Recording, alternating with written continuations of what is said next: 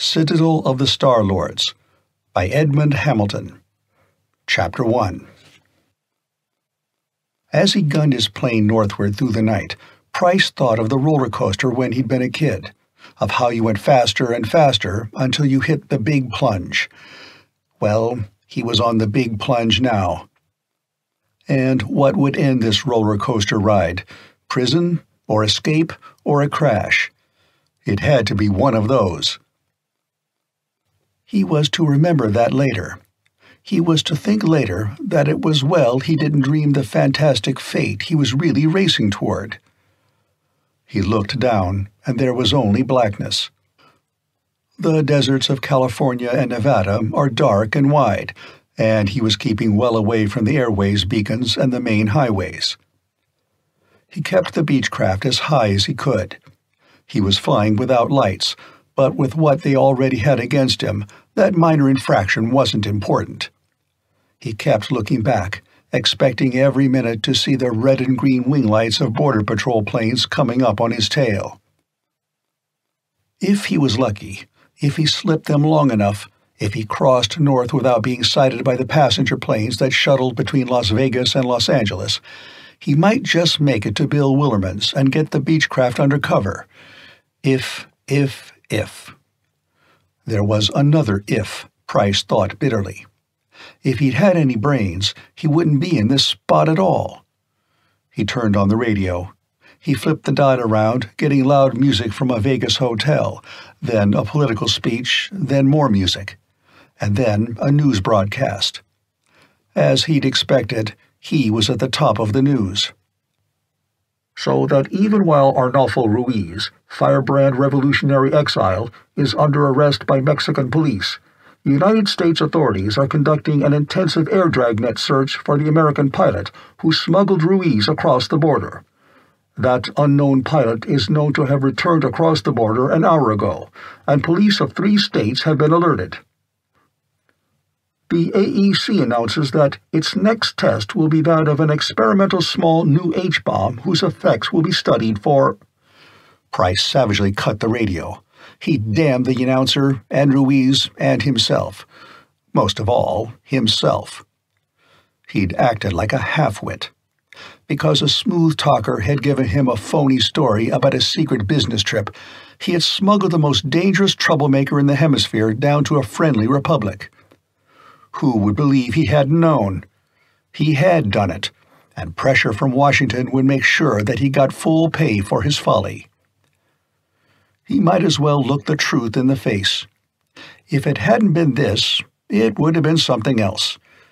He'd been playing the fool for years, ever since Korea. Other flyers had come home from there and taken up their jobs again, but a job had been too dull for him.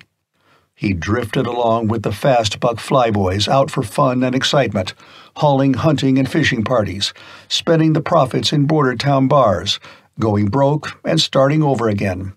And now, finally, this. His roller coaster ride was about over. It would be over for good if he didn't reach Willerman's ranch before daylight. Bill would hide the plane for him He'd saved Bill's neck a couple of times in the old days, and he could depend on him. But he had to reach him first. He saw the glow in the sky that came from the lights of Las Vegas, and he kept warily wide of it. He looked back again. No patrol planes yet. As he rushed on, Price began to feel that he was going to make it.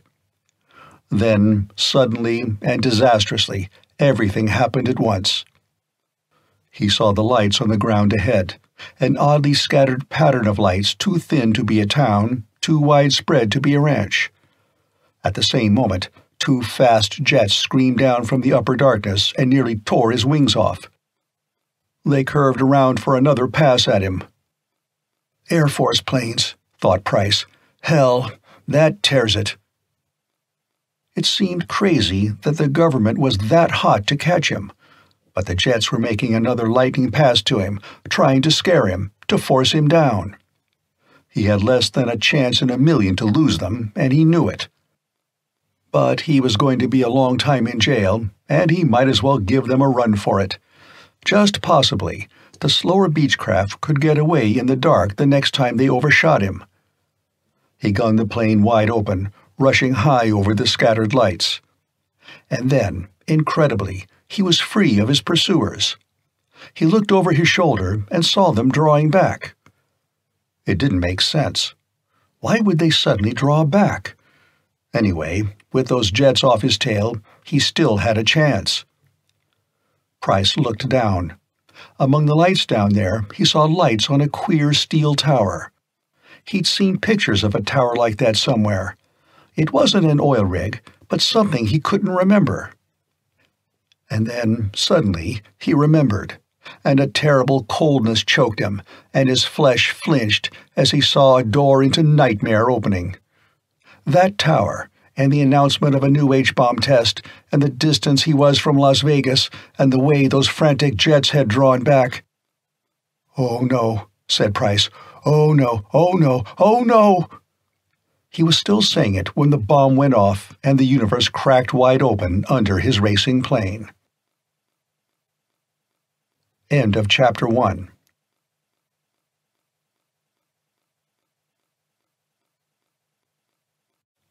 Citadel of the Star Lords by Edmond Hamilton. Chapter 2. The cataclysm that hit Price was without light or sound. That, when he thought of it later, was the most awful feature of it. He felt a shock, but not the shock of ultimate annihilation he expected.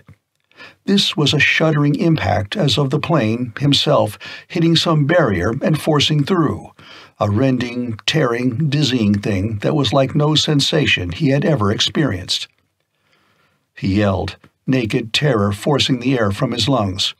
His weight flung against the straps, and he knew from that that the plane was in a spin. Mechanically, his hands reached to the controls. He leveled off. But he wasn't dead. He was alive, undestroyed, and how could that be if the raving energies of a hydrogen bomb had been unloosed beneath him? Price's mind was a mad turmoil. What had happened? He had blundered right over the bomb test area, right over the bomb tower, and the jets guarding the area had tried to stop him. Probably, if his radio hadn't been off, he would have heard them screaming frantic warnings to him. But had the bomb really gone off? If it had, he would surely have been instantly annihilated. He hadn't been. He was alive. The plane was ticking along through the night. The instruments functioned. But something terrific had happened. That ghastly, wrenching shock that had seemed to outrage the very atoms of his body, his flesh still crawled with the memory of it. Something had happened, but what? Price couldn't think. The mind just could not grapple with a thing like this. He sat, mechanically touching the controls, and the Beechcraft roared on and on. Gradually, his mind came alive. He shakily swung the plane around. He was going back to Las Vegas. Right now, arrest and prison looked good to him compared to what had happened, or nearly happened. If he hadn't been so tensely trying to escape, he thought, he would have remembered about the bomb tests coming up. There had been newspaper stories, guarded stories about a radical physical effect detected during explosions of the new type H bombs, and mention of elaborate preparations being made to study these unusual effects. Price's thoughts leaped suddenly. He recalled a scientist's statement that the center of explosion of the new type bomb might be like the eye of a hurricane, a focus of inconceivable forces, but affected in a radically different way by those forces. Had the bomb gone off under him then? Had his plane and himself, at the eye of the tremendous explosion, been hurled somehow through spatial barriers into safety before the light and sound and destruction could even reach him? It seemed an insane speculation. Yet everything about this was insane. He would be himself if he didn't get down to Earth soon. He could not see the glow of Las Vegas anywhere in the night. He cut his radio in and spoke hoarsely into it. Beechcraft 4556 calling Las Vegas Airport. Come in Las Vegas. There was no answer. The radio seemed operative, but when he turned the receiver dials, not a sound came out. Knocked out, Price muttered, and no wonder if. He couldn't finish the thought. It was too soul shaking a thing to speculate on, the thing that might have happened to him. He curved the plane around, looking for highway lights, for an airways beacon, anything. Nothing. Nothing but the darkness and the stars. A little frantically, he swung the plane around and started eastward again. He must have missed Las Vegas. But if he kept going east, he'd surely cut the main highways. There were always lots of cars on them at night in the summer. He flew on and on, and the darkness continued. No lights at all, not even the glimmer from a lonely ranch. Nothing. He would have landed, gladly now, but he did not know where he was or what was under him. The Beechcraft was equipped with extra fuel tanks for long flights away from any source of supply, and they had been full when he started. He could fly a long time yet. He flew. After a while, he began to think that there was only one explanation. He was dead, flying in limbo. And limbo, it seemed, went on forever. Finally, after many hours, there began to be a light in the blackness ahead of him, and his heart leaped up, thinking that at last he had raised the glow of a big town. But it was only the dawn. He watched it creep cold and gray across the world, and now he understood that he was alive. But he was not cheered. Now he could see what was underneath him. Forest, rolling like a dark green sea from north to south, from east to west. He had left the desert far behind. He figured that he was over Missouri now, and there should have been towns, villages, farms, cultivated fields. There was forest. The light turned rosy, then golden. The sun sprang up, and it was day. Far ahead, the Mississippi gleamed. Price sent the Beechcraft at full throttle toward St. Louis. He could not see any smoke from the great complex of city and industry that sprawled there over both banks of the river, and he could not see any bridges. But St. Louis had to be there. It was, but it had changed since he saw it last. The high buildings were brought low, and the low buildings were mounds, shells covered with brush and foxgrape, and trees grew in the public streets and through the broken windows. The river, vast and placid, was empty except for a floating log. Obstructions along the shores might once have been docks, but were so no longer. And there was a great stillness.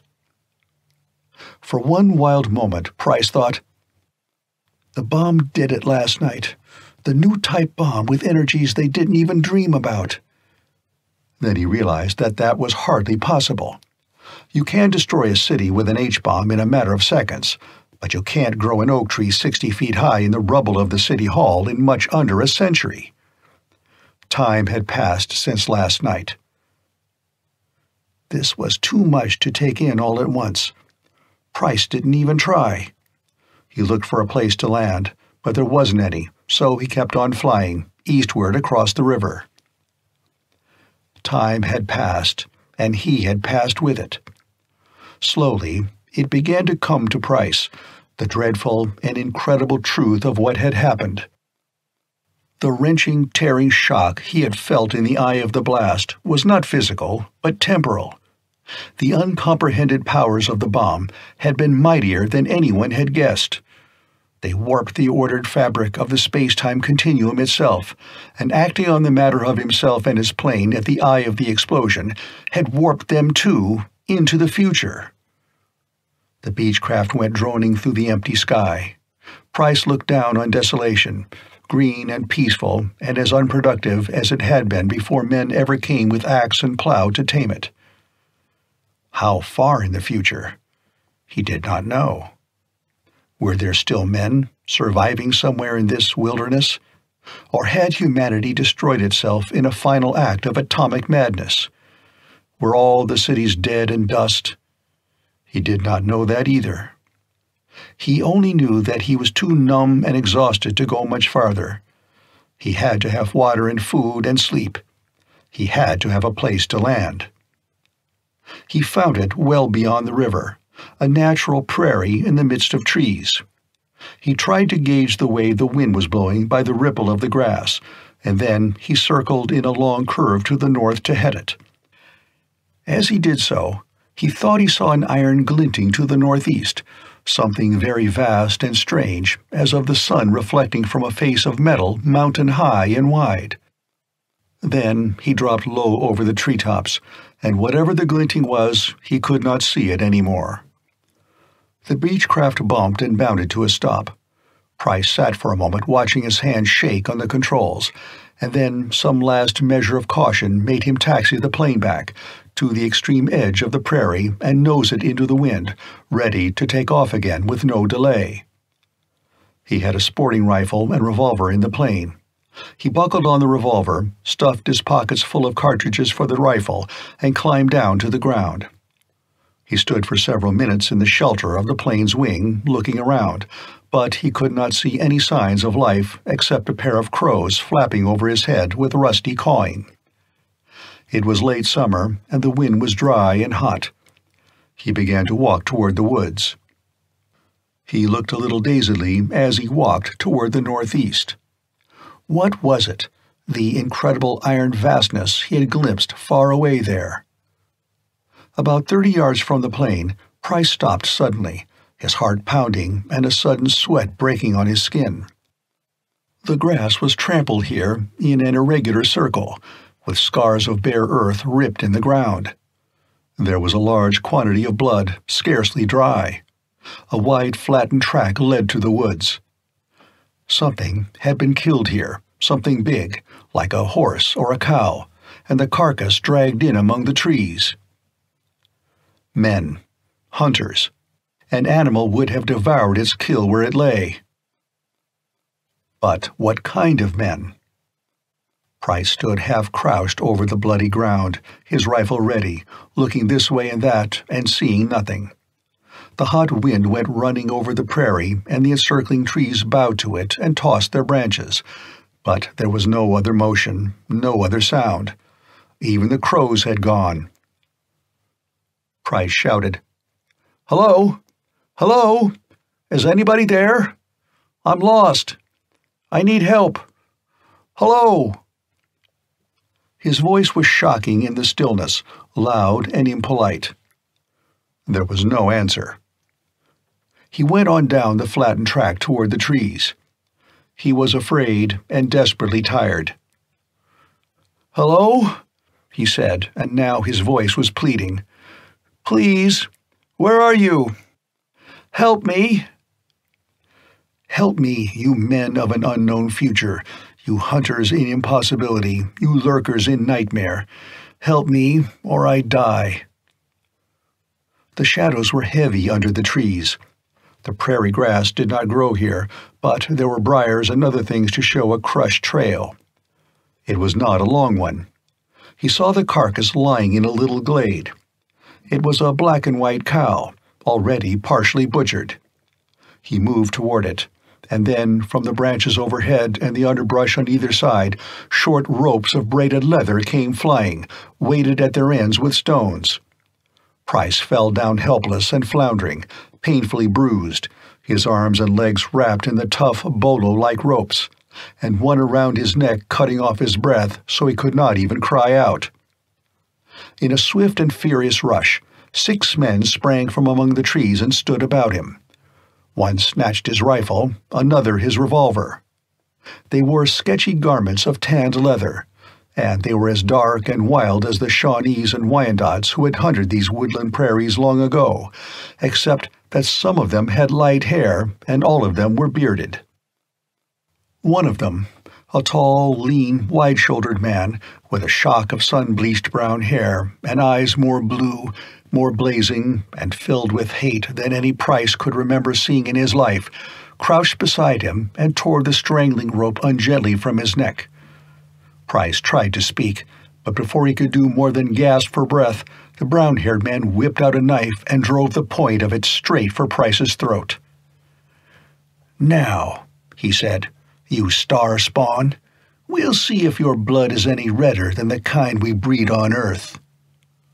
The steel bit hard. Price screamed. End of chapter 2.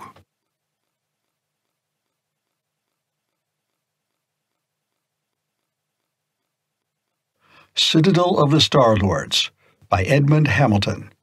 Chapter 3 The brown haired man withdrew the knife with a nice dexterity, its tip reddened for perhaps a quarter of an inch. Price looked at it and at him in dumb horror. The six wolfish faces collected in a close circle above him and peered down, smiling. It's the same color, Burr. Who'd have thought it? Just blood. Ha! And I always thought they'd bleed hard and shiny, like quicksilver. Stick him again, Burr.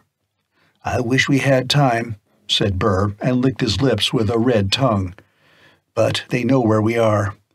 He sighed and raised the knife again. We've got to get out of here, fast. Price found his voice. For God's sake, he cried. For God's sake, what are you doing?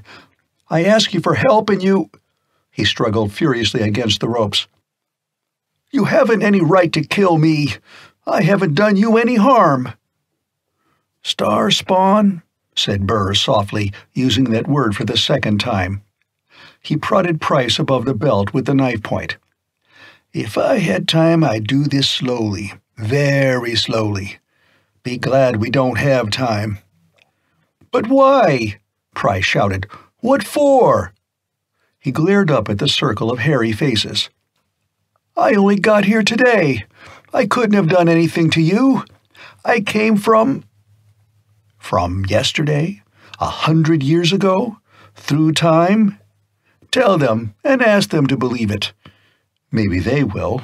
I don't. From the West, he said. From Nevada. I haven't anything to do with stars. Burr laughed. He raised the knife.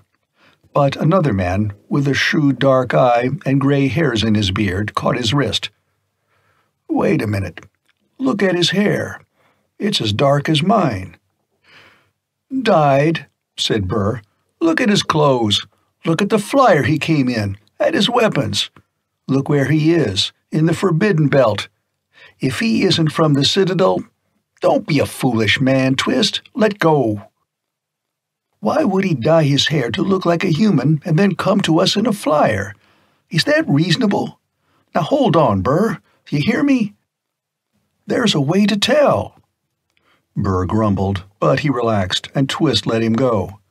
He caught Price by the collar and dragged him into the glade by the butchered cow, where the sunlight fell in strong shafts. Then he rolled Price's head back and forth, studying it with intense interest. The others looked over his shoulder. His eyes are dark, too, said Twist. You can't dye eyeballs. And look here. See that burr? Feel it? He's got the sproutings of a beard. Now, we all know the Star-Lords don't grow hair on their lovely faces. Hey, said the others, that's right. Twist is right. Of course he's right, said Price. I'm human. He knew that much. The rest of the talk was a mystery, but that didn't matter. Not right now. I come from the West. I'm a friend. Burr looked sullen. Humans don't fly. Only Star Lords do that. Maybe he's a collaborator, said a yellow haired boy, all bright and eager, and Burr smiled again. Maybe. Anyway, he's none of us. Stand by, Twist. But Twist did not stand by. He faced the others in fatherly anger at their stupidity. You're all mighty anxious for a killing, Burr. Now what's the chief going to say when we come back and tell him that a human man came in an airplane and asked us for help, and we stuck him like a pig and left the plane for the Star Lords? For some reason, the word plane sobered them down and made them thoughtful. Twist pressed his advantage. You've all seen the old pictures. You know this flyer isn't from the Citadel. It ain't the same shape, and it don't make the same noise. It's a plane. Maybe the last one on Earth, and this man knows how to fly it. And you want to cut his throat? There was a short silence, during which Price thought he could hear the drops of sweat trickling down his forehead. Then Burr said, without rancor, I guess you're right. We'd better take him to the chief. All right, said Twist. He crouched down and began unwrapping the bolo ropes. Price said, Thanks. It seemed a very small word and inadequate. Twist grunted. If you prove out to be a collaborator, he said, you'll wish I'd let you die an easy death. I'm not, said Price. His brain had been working with abnormal speed. This is an an old plane. The papers are still in it. It's been kept hidden, except he groped desperately for explanations. It's a tradition in my family to fly. We're taught father to son. That was true enough. Price's father had taken to the air in World War I and for years afterward had run a flying service. The rest of it he had to play by ear, and God help him if he guessed wrong. Twist helped him to his feet. Now, he said to the others, I want to know about that plane. Get it under cover, Burr said. Hide it. We might do that, Twist said, and the first flying eye that happened along would find it. They do more than see, you know. They smell, too. They smell metal, if it's much bigger than a knife. He held out the stone-weighted ropes and shook them. That's why we use these when we hunt in the belt. Remember? Now there's no call to be jeering, Twist, said Burr. If you got a better idea, we'll listen to it. Fly it out, said Twist sharply. How else are we going to get it to the chief? On our backs? Cut up and packed on the horses? No. He turned to the man who had taken Price's pistol. Give me that, Larkin. And you, Harper, hand that rifle to Burr. Larkin, you're in charge of the party. Get the beef back to the camp, and as soon as you've smoked it, load up and head home. Keep an eye out for trouble. This is liable to poke up the citadel like you'd poke a beehive. Larkin, a short, powerful man with a curly poll like a certain type of bull Price had once seen, asked in a mild, high voice, Where are you and Burr going? Twist pointed a thumb skyward. Up there, he said, and his eyes shone with excitement. He looked at Burr and grinned. Burr was scared. It showed in his eyes, in the way his mouth tightened. But he wouldn't say so. Instead, he reached out and grabbed Price by the shirt and shook him fiercely. There'll be a gun in your head every minute, and don't you forget. You do anything wrong, and you're dead. Price forebore to explain what would happen to Burr and Twist if they shot him in midair. He only nodded and said, Don't worry. I am as anxious to get to your chief as you are.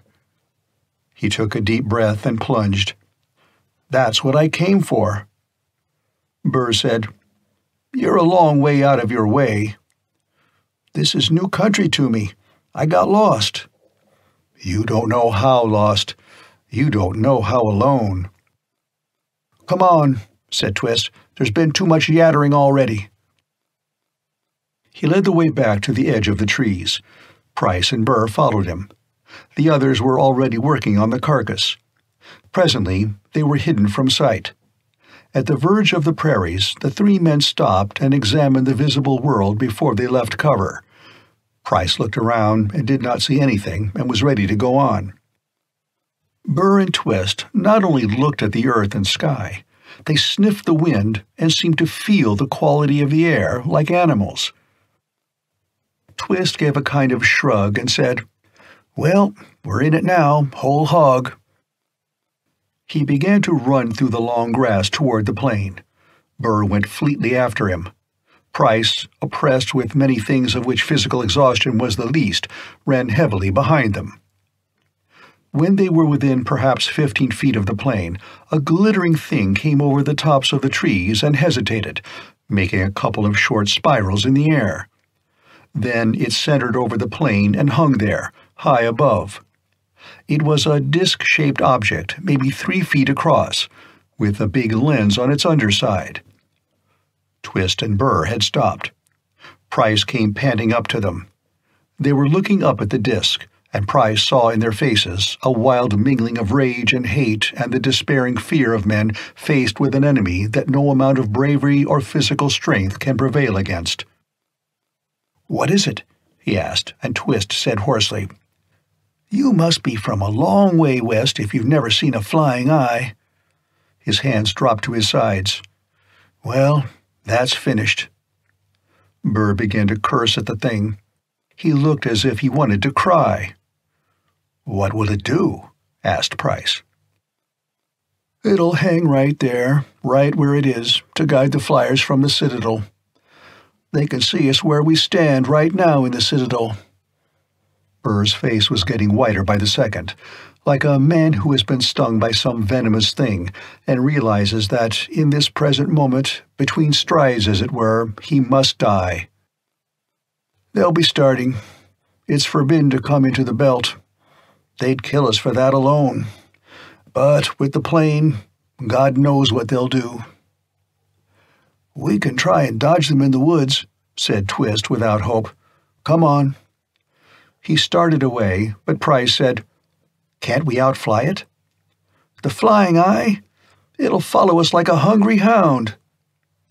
Some kind of television scanner, Price thought, with a metal detection unit and a signal relay to alert the main control in the Citadel.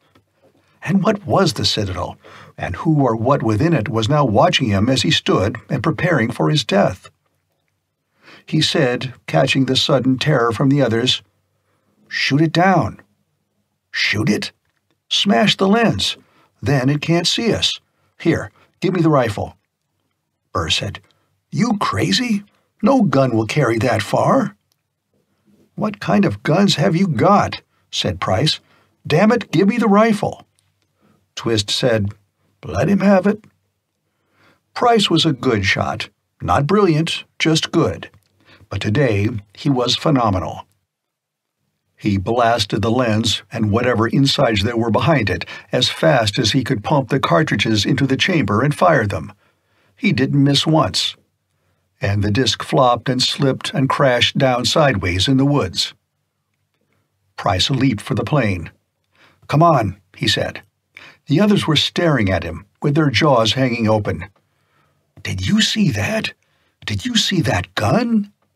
Come on, Price yelled, or I'm going without you. They tumbled in. Price started the motor, gunned it savagely, and took off as though the devil was on his tail. One of the men, he didn't know which, yelled out in sheer fright once. Then they were clear of the treetops and climbing fast. Price looked over his shoulder, and once again he thought he saw that dark metallic gleaming in the northeast. Which way? Back across the river, and then, said Twist slowly, I don't know. They've seen the plane. They'll come looking for it and the first place they'll look is the capital, and after that, the villages. They'll find it if it's anywhere near, and you can figure what they'll do to the people. They let us have our guns and our hunting knives so we can kill game and even each other if we feel like it, but artillery, no. Explosives, no. And planes, no, no, no. Especially not planes. I don't suppose there's been one in the air for almost a century. Twist shivered, his eyes shining, his hands gripping the seat. I'm glad I got to do this before I die. It's. He fumbled for a word and gave up.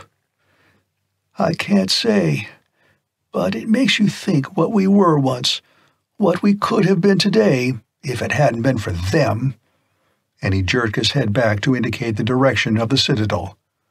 The star spawn, the damned star lords. Burr looked out the cabin window. It's an awful long way down. Then he asked Price, Why'd you say you came to find the chief? A suspicious man, Price thought, and so is Twist. Careful, careful. But how can you be careful when you don't know what's going on in the world and you don't dare ask? Price said, I came to give him the plane. I'm the last of my family. I wanted to join up with somebody, and there aren't many in the desert. This, he thought, was a safe assumption. Life's too hard.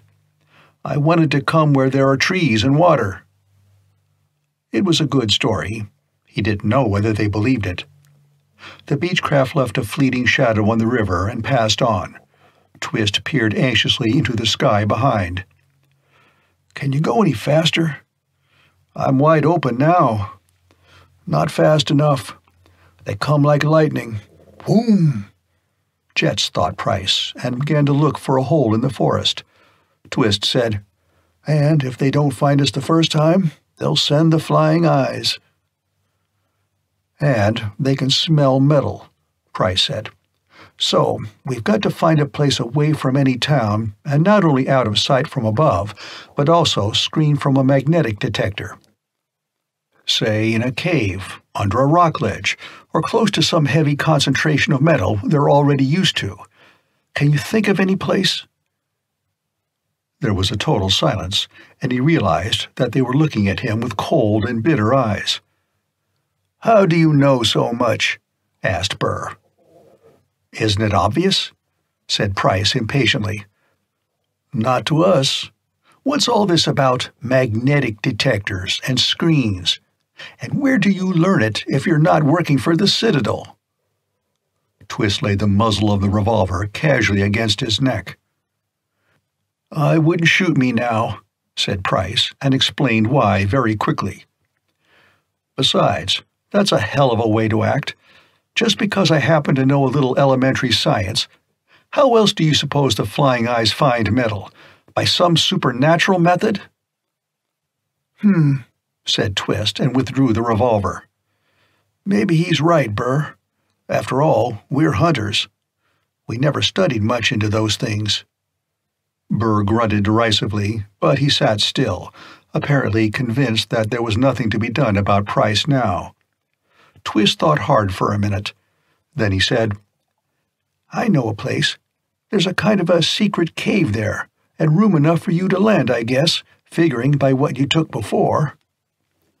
He squinted out the window, confused by the differentness of how things looked from above. But finally, he picked out a direction and told Price. There. After some low-level circling and searching, Price found the place, a fairly flat stretch of bottomland in a little valley, beside an overhanging wall of granite. Twist's estimate of the room was hardly generous, but he made it and taxied over bumpy sod as close as he could to the cave mouth Twist pointed out. Then he sent the others to clear away some rocks and dangling creepers, and with a final heave and roar, he managed to lurch into the cave itself. He cut the motor he had about four hours flying time left in the tanks. He got out of the Beechcraft and dragged stones under the wheels to chock it. Then he helped Burr and Twist rearrange the hanging vines over the entrance. A high, shrill screaming in the sky gave them less than ten seconds' warning. They ducked back under the overhanging ledge and peered motionless from under it. And Price saw close above him, skimming the rolling land like an eager hawk, an ovoid craft that was not like any jet he had ever seen, wingless, leaving no trail, but tearing with a mighty shriek of power through the sky. End of chapter 3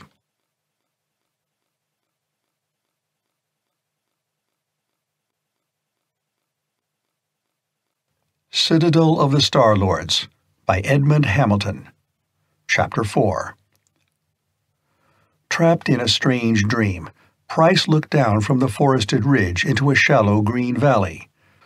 Burr pointed and said, There it is, the capital of the Missouris.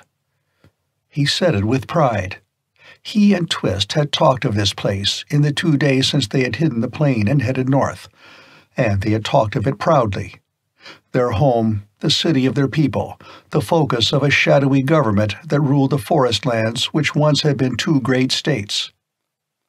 Price looked at it, and he felt pity. Pity and a wrenching regret for what the world had once been and what it had become during the lost years. In the valley, straddling a clear little river, lay a half dozen streets of wooden houses and workshops and smithies. The buildings were neat enough, of massive squared timbers. But the streets were unpaved and dusty, and their only traffic was loaded wagons from the surrounding tilled lands, and pack horse trains from the forest trails, and men, women, children in drab leather and wool. A faint sound of creaking axles drifted up through the drowsy afternoon air. The capital of the Missouris, Price thought. And, oh God, why did it have to happen to our world? He had listened on the way here to everything Burr and Twist said. Bit by bit, the jigsaw fragments of information had fallen into place, and a few casual questions had completed the apocalyptic picture. It had happened long ago in the lost years, the years that Price had been hurled through. As near as he could make out, the date had been 1979, 60 years ago. That had been the year of doom. That had been the year when they had first come from outer space. The Star Lords, the Verna as they called themselves, the accursed star spawn as men called them. Their tremendous cruisers had come out of the blue, had poised above the earth, and then had struck. Every city, every big town, every atomic power plant, every arsenal, every important bridge, viaduct, dam, and factory. In one week of Holocaust, they had been smashed by the remorseless cruisers that went round and round the planet. Millions died that week, and the Star Lord's cruisers went away. Quickly, they had returned. This time, not to destroy, but to seize what had been the fat, smiling lands of Illinois and Indiana, they had made their domain. In it, they built their citadel. The citadel was a fortress, a city, above all, a base. The Star Lords contemptuously refrained from attacking the dazed Earth peoples who had been thrown back to near primitive conditions. To the Lords of the Citadel, Earth was only the site of an important base or so they said. Was it any wonder, Price thought, that these men of the Missouris would kill anyone, anything from the Citadel? Just hearing of it all had kindled his own rage. These men's fathers had lived it, and they were still living it. He looked down at the wooden town as he and Burr and Twist went down a trail, and he thought, Careful, though. They still think I may be from the Citadel. Watch every word. Two hours later, Price sat in a wooden walled room in the biggest of the houses, facing the chief of the Missouris. His name was Sawyer, and he was old. But he looked formidable as an old panther in his buckskins. His leathery face held deep pride, intelligence, and a brutal ruthlessness. Behind him stood the chiefs of the Indianas and of the Illinois, those scattered peoples on whose lands the citadel now stood. Sawyer listened without a word to Price's story, and all the time Price told it, he thought how thin and far-fetched it sounded. But looking at these faces, he knew he could never convince them of the truth. Two days ago, said Sawyer finally, the Verna were here. They were all mighty hot and bothered. They were looking for a plane. I never saw a plane in my life, and I said so. He paused, his swarthy, wrinkled face brooding, and no one, least of all Price, dared speak. He went on. Since then, the sky's been lousy with their flying eyes, hunting and hunting. You must have seen them. Burr took that as an opening. We did. We kept ducking them all the way. Sawyer looked out the doorway at the dusty, sunlit street, and then back again to Price and he said, with sudden blazing fierceness, You tell me you heard of us Missouris way out in your mountains, that you wanted to bring your plane to us? Why? Price floundered. Why, I wanted to help you. To help us do what? A garnet light was in the old man's eyes now. What did you hear we were doing that you wanted to help on? Price sensed from the other's fierceness that he was in imminent danger, that something he had said had deepened suspicion. He almost welcomed the interruption that saved him from answering now, though it was a sound that raised the short hairs on his neck. The sound of shrieking power across the sky, the sound of the sky hunters from the citadel. That's the damn star spawn coming down here again, said one of the men behind Sawyer. The old man got to his feet with amazing alacrity. He rapped an order to Twist and Burr, pointing to Price. Take him upstairs. If he makes a peep, cut his throat, but do it quiet. Little more than a minute later, Price was in a hot, dusty little room. It had gun slots in its heavy wooden shutters, and they let level bars of golden light into the room. He heard the whine of the flyer coming down fast. He went to the gun slot. No, said Burr. Price turned and looked at him. He kept his voice low. The hell with you, he said. You can stand behind me with your knife. I'm not going to yell, but I'm going to see. He heard Burr and Twist come up close behind him as he peered out the wide slot. Out in the green square, a white craft marked with a curious insignia was making a vertical landing. He thought it was a type of aerodyne, he had never seen one in flight, back in that strangely far off and quickly fading time from which he had come, but he had seen sketches and a working model. This seemed to be a refinement of the same principle, faster than a jet and maneuverable as a toy balloon. His hands itched to fly it. He saw the insignia on its side, a golden sunburst with what looked like a many-colored, many-faceted globe at its heart. He did not know what it signified, but he knew what it was the mark of the Star Lords, of the Verna. And even as he looked, four of them came out of the craft. They came along the street to where Sawyer and the other chiefs and a little crowd of leather clad men silently waited. No one had a gun, no one made a motion. Yet that dusty street was electric with a hatred so deep and strong and quivering that it made Price shiver. Yet the four Verna came straight on. The Star Lords, they from unguessable spaces who had smashed Earth like a child's toy to make it their footstool. Price pressed closer to the gun slot. He wanted to see them very clearly indeed, especially one of them.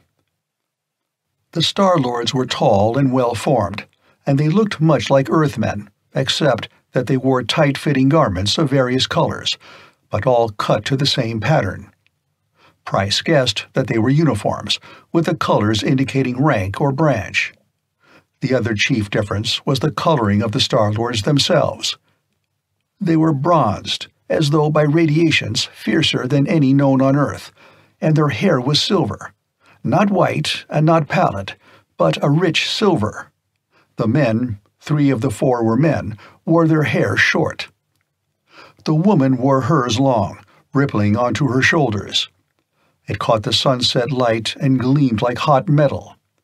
Her uniform was a deep crimson, duskier than flame, molding her long thighs and her high, just full enough breasts.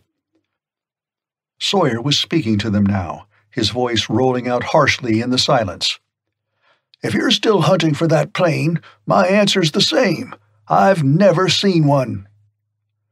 One of the Verna men, who seemed to have the authority, stepped a pace in front of the other two men and the woman. The woman had raised her head and was looking restlessly at the blank or shuttered windows of the timber houses. Price felt uneasily that she knew he was there and was looking at him through the gun slot, but that, of course, was ridiculous. Sawyer, listen to me, said the man of the Verna.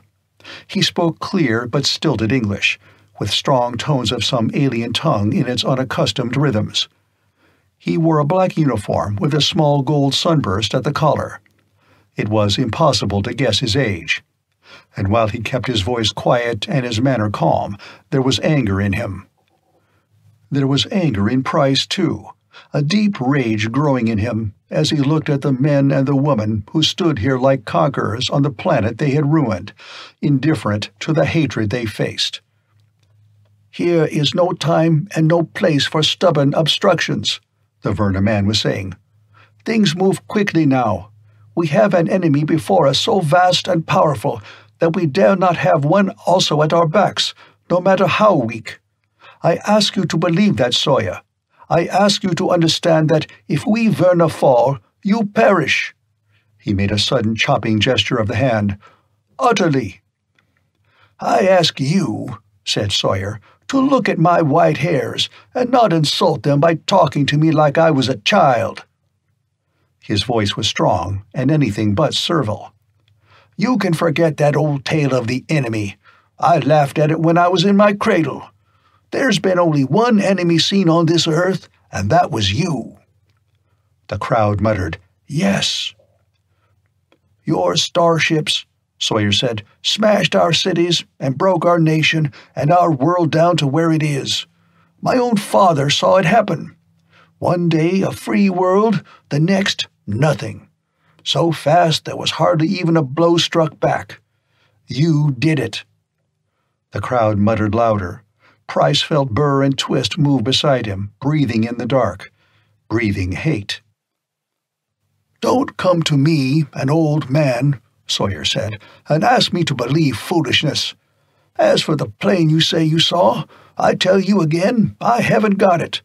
And if I did have, I wouldn't give it up to you, nor the man either. And you know it, Aaron.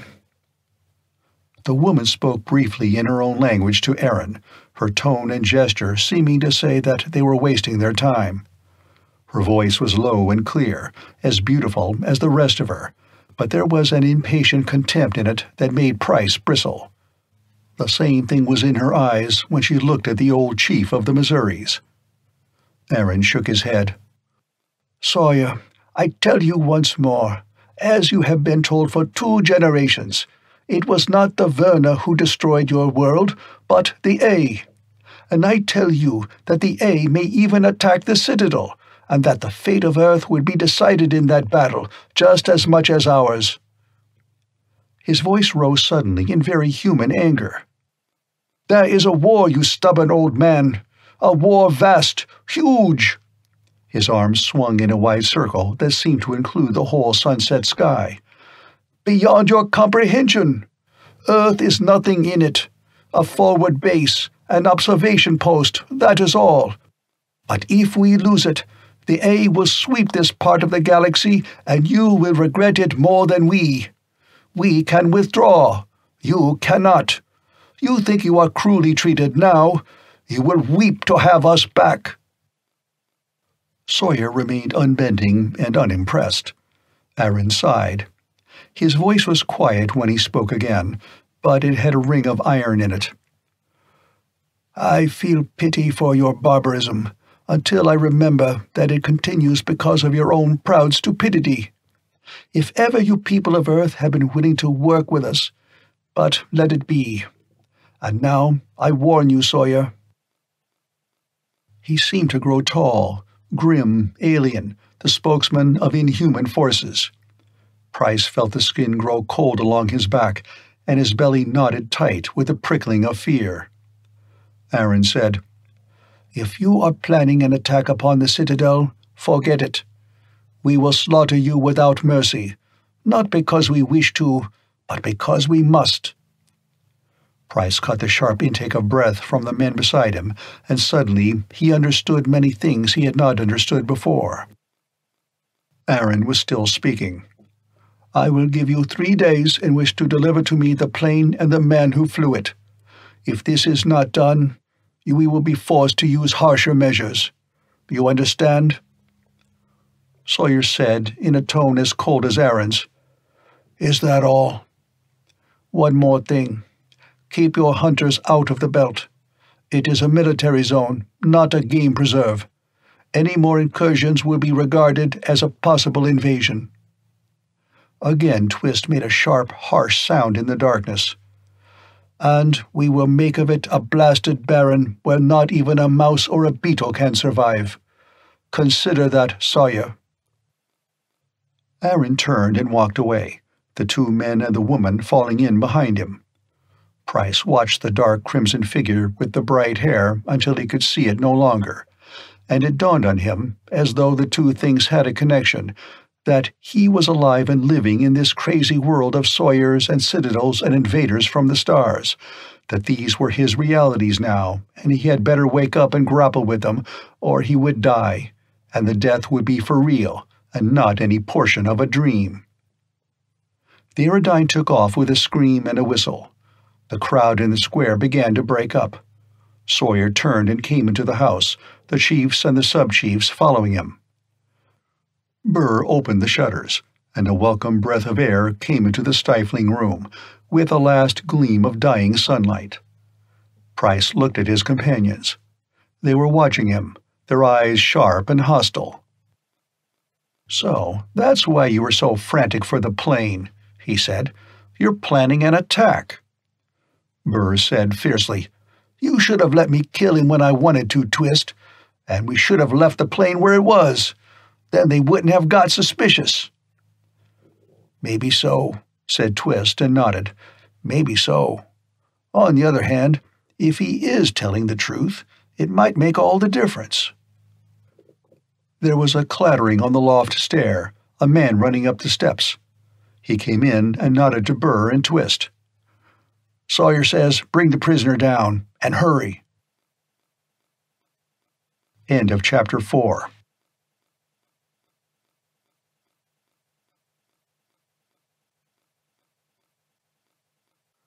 Citadel of the Star Lords by Edmond Hamilton. Chapter 5 Sawyer was standing in the middle of the room, talking rapidly to the chiefs of the Indianas and the Illinois. The Indiana chief was old and fat and lazy, but the chief of the Illinois was young, heavy jowled, and hard eyed, the type that is born suspicious and never gets over it. Sawyer turned to look at Price. He was intent and wire drawn, a man poised on the brink of great happenings, at that crucial point from which he may still choose whether to advance or retreat. Price bore his gaze steadily, and it was not easy to do, because the eyes of this tough old man seemed to be laying bare everything within him. But you can't take him there, said the Illinois chief violently, looking also at Price. The biggest secret on earth and if he's a spy, if he's a spy, Sawyer interrupted harshly, he'll never live to tell what he sees there. He spoke to Price. We're going on a journey. You're going too. And you two, to Burr and Twist, will guard him. Burr and Twist nodded silently and got their guns. The rifle and revolver had been handed over to Sawyer for safe hiding, and these guns were the clumsy, short-range bolt-action rifles of their own handcrafting. Price said, This is a hell of a way to treat a man who comes to you as a friend. I hate the Verna as much as you do, for what they've done to Earth, and...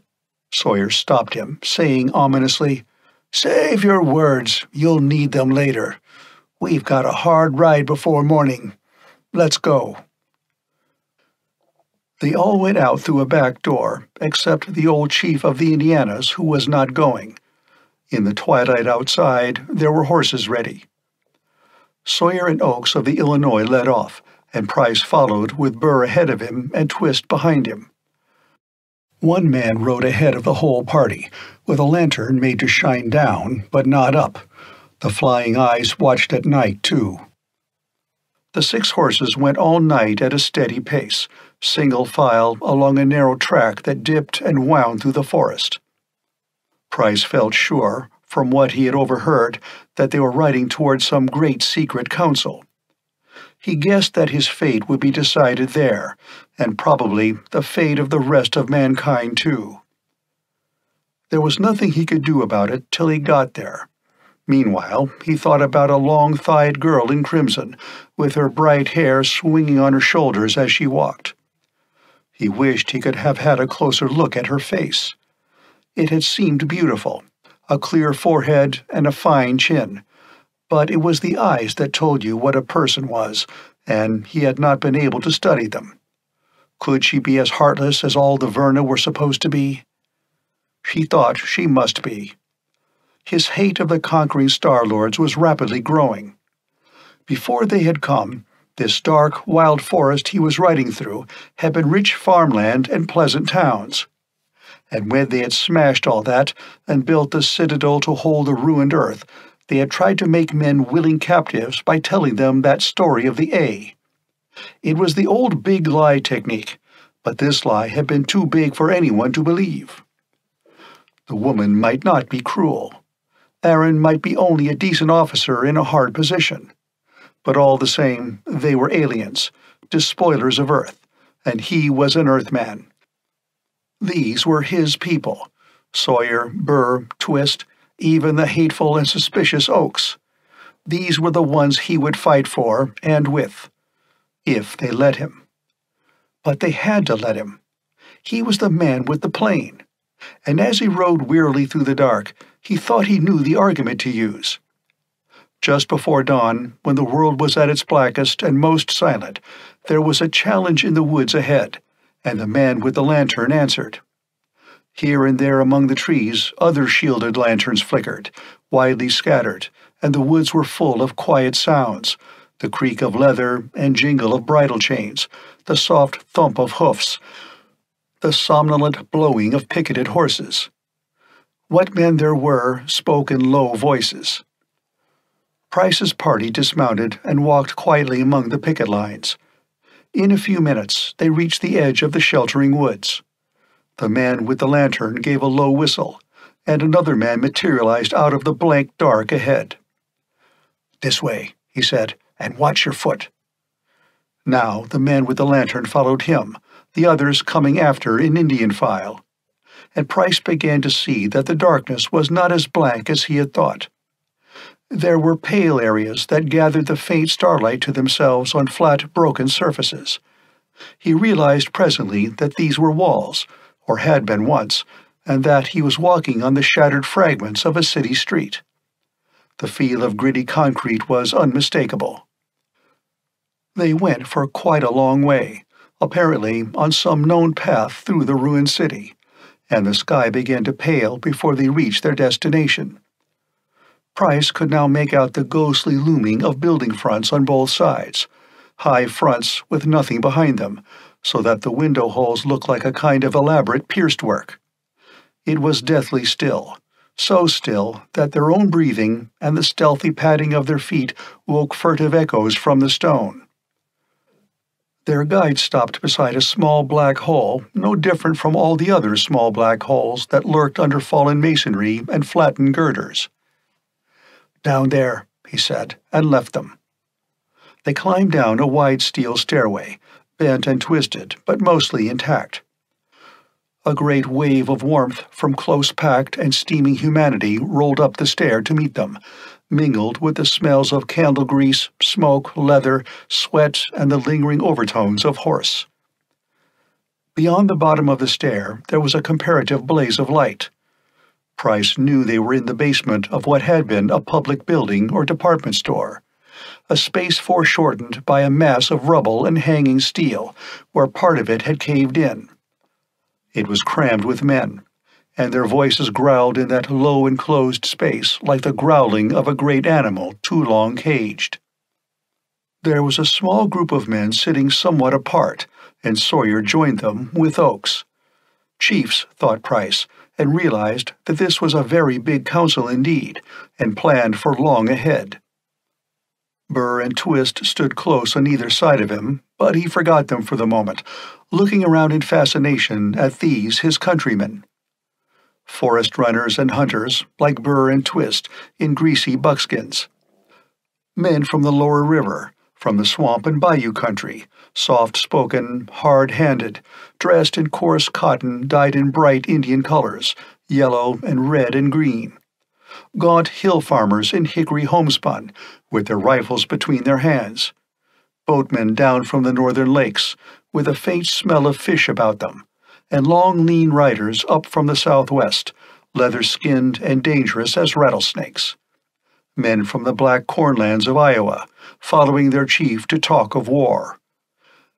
America, Price thought, basically unchanged, basically recognizable but with all the fat sweated off it and all the luxury stripped away, fine down to the ruggedness and strength of an earlier day, when men like this made a nation out of a wilderness. He had a feeling they could do it again, in spite of the overwhelming power of the Star Lords. And if they couldn't, they would go down fighting like wildcats to the last.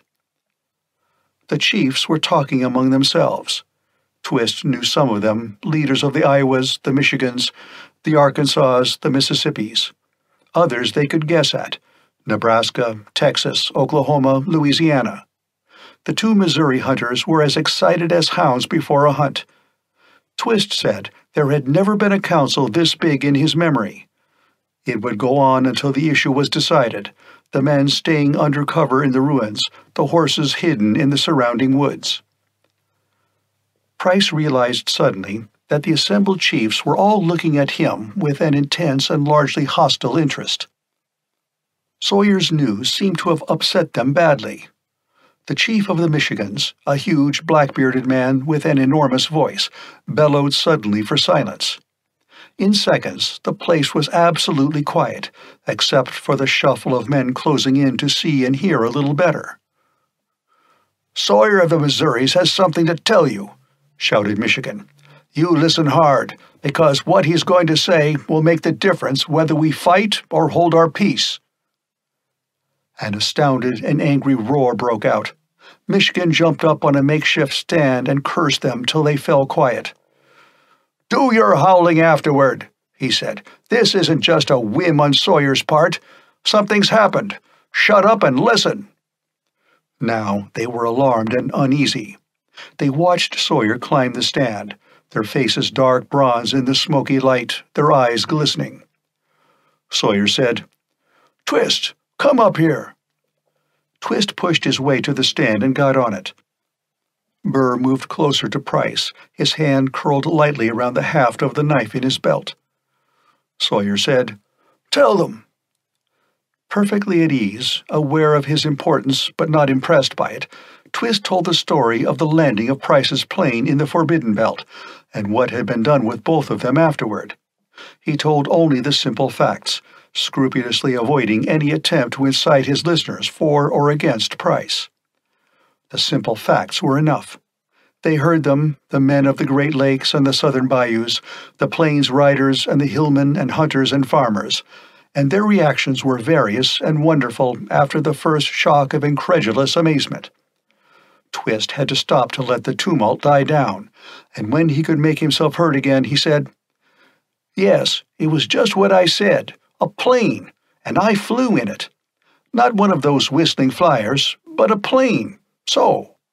He made a graphic pantomime with his hands and a remarkably accurate motor sound. Now, I guess that's all, he said and stepped back. Sawyer said, his words carrying clearly to the farthest man, The Verna have turned our lands upside down to find the plane. They haven't found it. Last night, Aaron, a furious snarl greeted that name, so apparently it was well known, Aaron gave me three days to surrender the plane and the man who flew it. I've brought him here instead. He held up his hands to quell the rising voices. Listen, I'm not finished yet. Aaron had some other things to say. He said, If you are planning an attack on the Citadel, forget it. He said, We will slaughter you without mercy. Now, said Sawyer, here is what we have to decide. Two things. Is this man Price a friend offering us a weapon, or a spy of the Verna offering us death? And shall we fight, or let it go until another year? They're big questions, the biggest you'll ever have to answer in your lives. Don't come at them like hasty boys, all feeling and no sense. Come at them manlike, slow and careful. Michigan rumbled. Those are good words. Heed them. And now, let's have the man up here. Burr gave Price a shove. That's you. Price shouldered forward through the pack and climbed the stand. As he did so, Twist whispered in his ear, You better make this good, boy. You won't get another chance. His voice sounded friendly. Price was glad of it. He stood on the platform and faced the chiefs and the representatives of the people. Michigan said, You tell your side of it, and speak up so everyone can hear. Price spoke up, loud, but he said, What's the good of that? I've told my side of it a dozen times already, and nobody believes me. He glared around the close packed circle of men. If I'd known you'd treat me like this, I'd have smashed the plane and left it for the coyotes. Just the same, said Michigan. Tell it again. Price told it. I didn't know you were up to anything in particular. It just seemed obvious that a plane might be useful to you sometime, now or later, and it wasn't doing any good where it was. He had coached himself so carefully in the story that it was beginning to seem like truth to him, gathering little embellishments and embroideries. I brought guns, too, better than anything you have. And does anybody say thank you?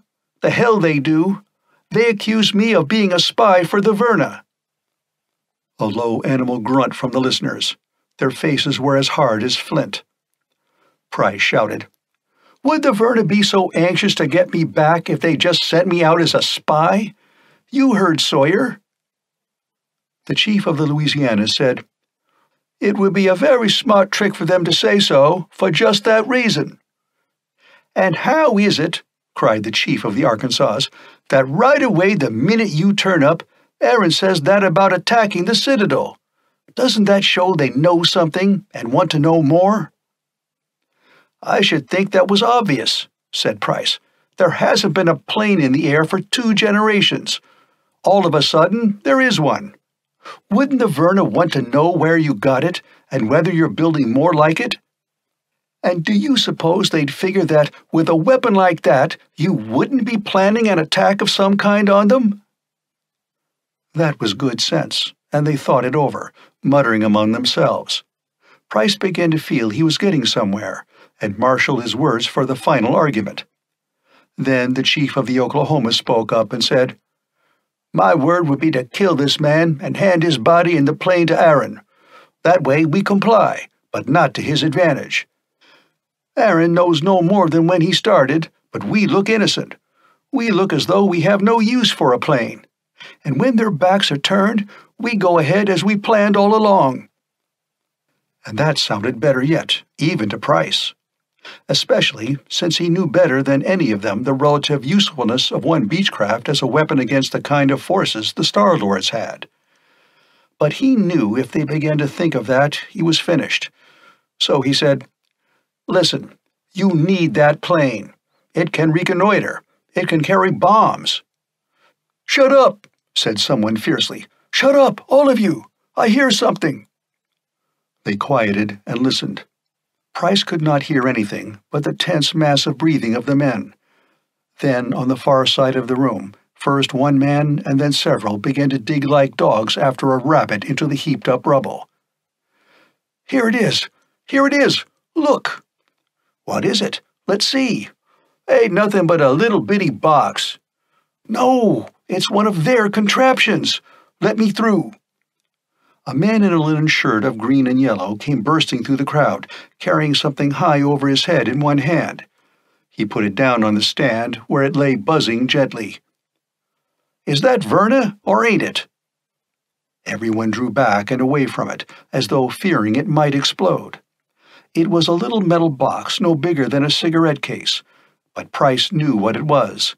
He stepped forward and smashed it underfoot. You'd better clear out of here, he said. Fast! That was a radio transmitter, broadcasting a steady guide signal to bring the Verna right here. There was one stunned moment of absolute silence, and then the place erupted into sound and movement. In the midst of it, in the heart of it, the chief of the Michigans and the man in the linen shirt were possessed of the same idea. Crying, Spy!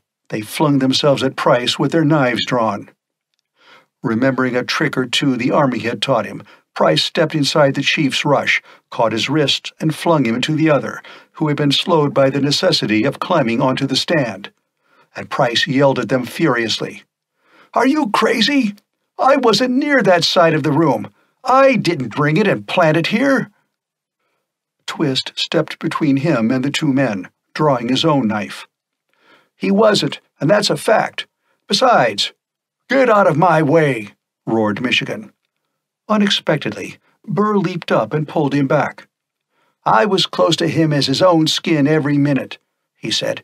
He didn't move, and he didn't have that thing on him to drop if he'd wanted to. We searched him, said Twist, days ago. Personal. Then you're traitors too, said Michigan, clinging to his single idea. He started to charge again, and now there were others swarming up onto the stand after him, screaming for Price's blood.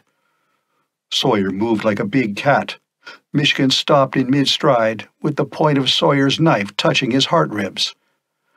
These are my men, said Sawyer mildly. I don't like having their loyalty called in question any more than they do. Price leaned over and grabbed a rifle out of somebody's hands. He clubbed it and began to swing, scattering men like tenpins off the edge of the stand. Get out of here, you fools! he howled at them. Can't you get it through your thick skulls? The Verna are coming! Get out! Numbers of them were already streaming up the stairs.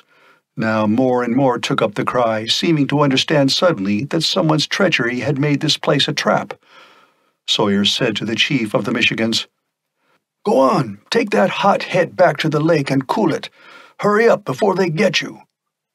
Michigan snorted like an angry bull, but he turned and jumped down into the crowd. The man with the linen shirt was gone. Price was about to follow when he saw the muzzle of a rifle, upflung, glinting darkly in the lamplight. He shouted to Burr and Twist to look out, and then flung himself upon Sawyer. The shot was stunning in that closed space, he heard the slug go whistling overhead and then ricochet from the low concrete roof. Someone on the far side of the room cried out in rage and pain. I thank you, said Sawyer. And now let's get off this damn target. They got off, the four of them sticking close together. Price did not see Oakes, nor the man who had carried their lantern. Most of the lights were going out, knocked over and trampled. The dark surge of running men carried them to the stair and up and out into full blinding day. Somebody pointed to the sky and yelled, There they come! The Verna! End of chapter 5.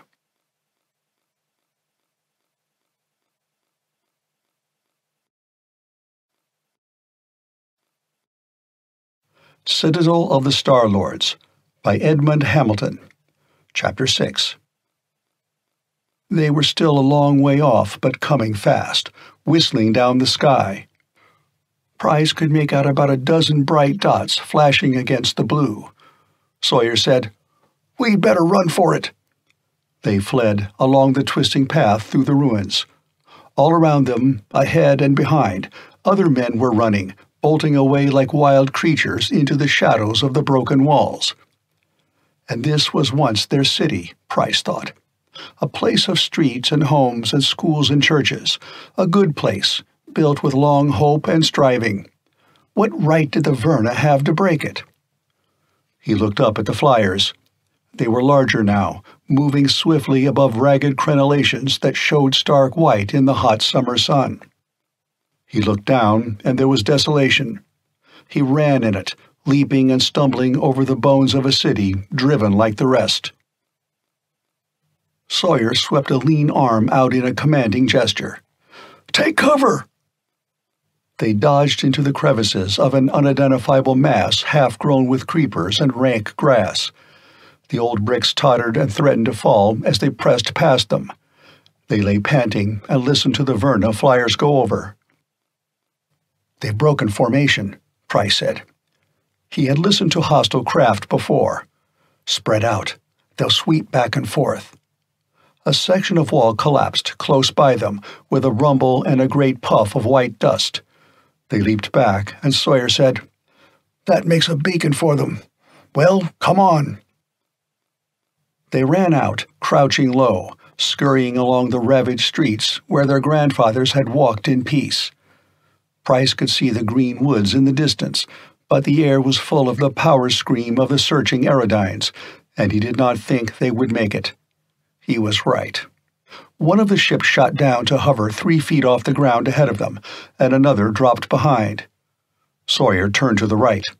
A third ship came down. He turned to the left. A fourth one blocked him. He stopped where he was, too proud to look farther for escape where he knew there was none. Burr and Twist stood with him. All three lifted their rifles and prepared to die. Price had nothing in his hands. The bright hovering ships mocked him. Their noise deafened him. The wind of their air blast tore at him with vicious force. He hated them.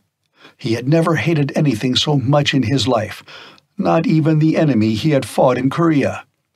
He groped among the rubbish around his feet, half blinded by dust and a red haze that was of his own making. A very loud metallic voice spoke to them from one of the ships. Put down your weapons and stand together with your hands high. You will not be harmed. Sawyer laughed. He hunched the rifle to his shoulder and fired. The slug went splat on the skin of the aerodyne and dropped. Put down your weapons and stand together. We will count six. At that time, we will fire. Six, five, four. Sawyer laid his rifle into the dust at his feet and straightened, folding his arms. Twist and Burr did the same. Tears stood in Burr's eyes, tears of outraged anger. And this was their city, Price thought. My city. Ours. Men began now to jump out of the hovering aerodynes, Verna with cropped silvery hair. They wore uniforms of dark green. This was not their city, it was not their world. Price's fingers closed over the end of an iron bar in the rubbish. He sprang forward, holding the iron bar. A beam of cold light, hardly visible in the sunshine, flashed out from the nearest ship. Price was running, and then he was not running. He was face down on the ground with white dust in his hair. The bar spun out of his hand and fell with a faint clatter. The Verna closed in. They escorted Sawyer and Burr and Twist each into one of the ships. Two of the green clad soldiers bent and picked up Price and carried him to the fourth. They clambered in, and the aerodynes rose whistling into the air. Over the place from which the Earthmen had fled, roughly in the center of the city, several of the ships were gathered. They circled slowly, but nothing moved in the streets. At length, all but one of them rose up, and that one made brief lightnings flicker from its underbelly. Down below, a volcano erupted, thundered, burned, and died, sinking into ash and dust. That gathering place would not be used again and any store of arms or powder concealed in it would not be used either. The ships of the Verna raced away toward the east. Behind them, the forest was full of men and horses moving out.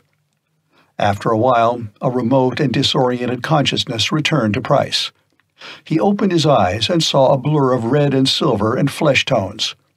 A little later, he opened them again, and the burr had become a woman with silver hair and a uniform of dark crimson the woman. She said, You will be normal again in an hour or so. The shock ray does no permanent damage. He looked at her, not caring very much about how he would feel an hour from now. He felt pleasantly languid, forgetful of his cares. Her eyes were a curious color, not like Earth eyes at all. They were like little bits of sky and moonglow and the far off fires of stars, cool and strange and lovely. He said, They're not cruel after all. What are you talking about? Your eyes. They're beautiful, like you. A faint flush touched her cheeks, but she only said, How are you called? He told her, and she wrote it down. He saw now that she held a kind of clipboard on her knee. Just beyond her was a cabin window. Streamers of torn cloud whirled by it so fast that he was startled. Then other things began to impinge on his senses air scream, a smooth rush of speed. He sat up. The man beside the pilot turned abruptly, his hand reaching for a weapon at his belt. The woman spoke to him in her own tongue and then said to Price, We do not wish to stun you again. You will not make it necessary. No, said Price.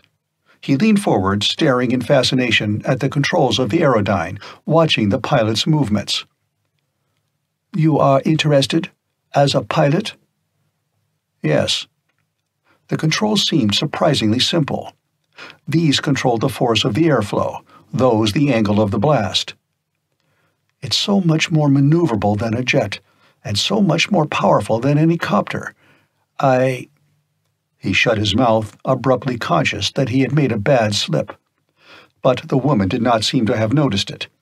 He asked her hastily, changing the subject, What's your name?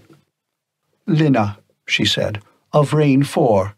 That's the planet of a star you never heard of in the Hercules cluster. I have some other identifying words, a patronym much like yours, and a set of code numbers such as have been used on this world also. You seem to know a lot about us, for a girl from, uh, Vrain 4. That's my business. I am a specialist in Earth cultures. Section 7Y, Social Technics. Where is your home? She was friendly, almost too much so. Price was wary now, his mind shaking off the lethargy of the shock. Nevada. She wrote on the clipboard some kind of shorthand. I have not been that far west. What is Nevada like? He told her, leaving out any mention of cities. The Aerodyne raced forward, and he watched the controls avidly. So simple. So beautifully, functionally simple. His fingers twitched with eagerness. You have flown a great deal? My father taught me. Careful, Price thought. These people are probably no brighter or shrewder than my own, but they're better able to investigate and check on things. Tell me, what's it like on Vrain 4? We eat and sleep, make love and die, she said, very much like you. The sky is very beautiful at night.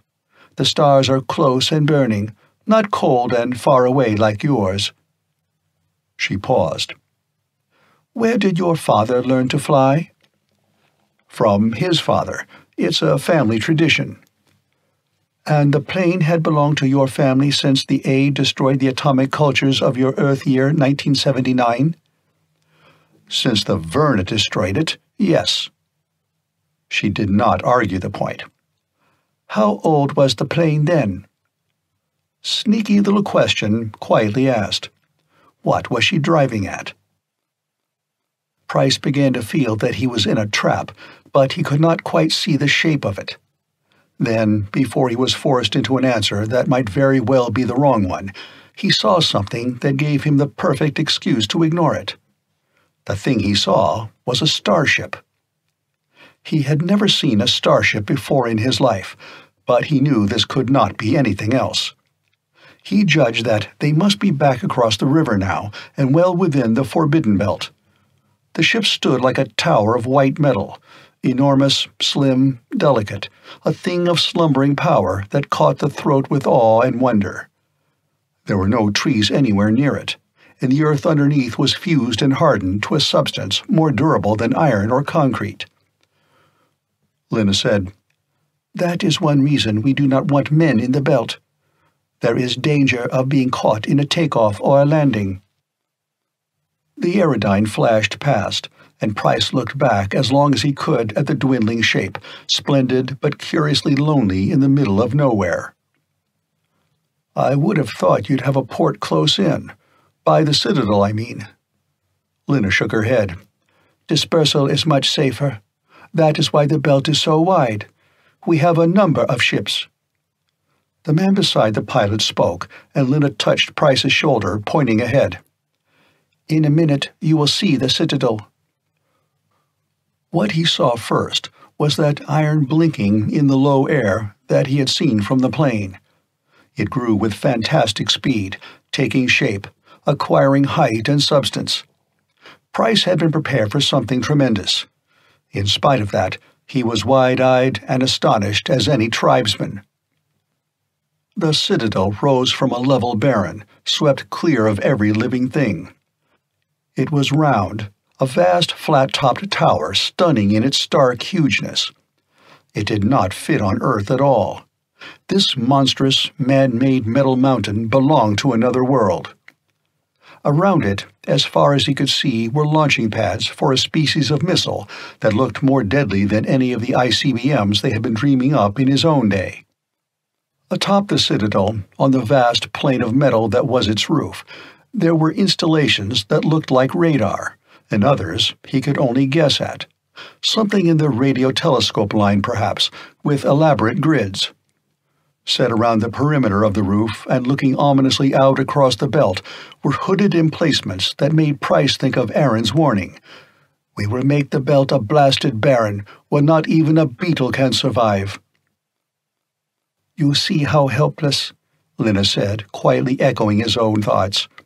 Men with knives and little guns, they would be throwing their lives away. The old anger came back to Price, and he said sullenly, the Siegfried line was supposed to be impregnable, too. But he knew she was right, and he looked down with a sinking heart as the Aerodyne swept in for a landing on the roof. How could Earthmen ever hope to throw this mighty power from their backs? He stepped down to the iron deck, still a little slow and shaky when he moved. Other Aerodynes were dropping down one by one. He looked around for Sawyer and Burr and Twist, but he did not see them. Verna guards fell in on either side, and Lena said, I think your friends have already landed and are with Aaron below. Come on. The invitation was pure rhetoric. He had no choice. The guard took him toward a circle painted bright red for the guidance of pilots and about eight feet across. He asked, Is Aaron the big boss? The supreme commander of this base. You see how important you are to us, you and your plane? They stood on the red circle, and it dropped with them smoothly down a gleaming metal shaft. It did not drop too far. They stepped from it into a corridor, brightly lighted by tubes sunk into the low ceiling. There were many doors on either side, and Verna in uniforms of various colors passed back and forth. The office of the Supreme Commander was as austere and functional as everything else Price had seen. Narrow windows with flush shutters of steel looked out across the sunlit belt. One wall was a maze of screens and dials, communicator devices, and another had rows of tube mouths with vari-colored tabs. Aaron stood facing Sawyer, with Burr and Twist behind their chief. There were several guards. As Price came in with Lena, Sawyer was saying, I told you I wouldn't give the man up, nor the plane. As for the meeting, your paid traitor can tell you all about it. And now you can go ahead and kill me. Aaron said impatiently, It isn't your life I want from you, but only a little cooperation. He looked up at Price, his eyes narrowing. This is the man? Lena spoke to him in the Verna tongue. A look of surprise showed for an instant on Aaron's face. He questioned Lina. Sawyer, meantime, said to Price, We thought they'd killed you. Price shook his head.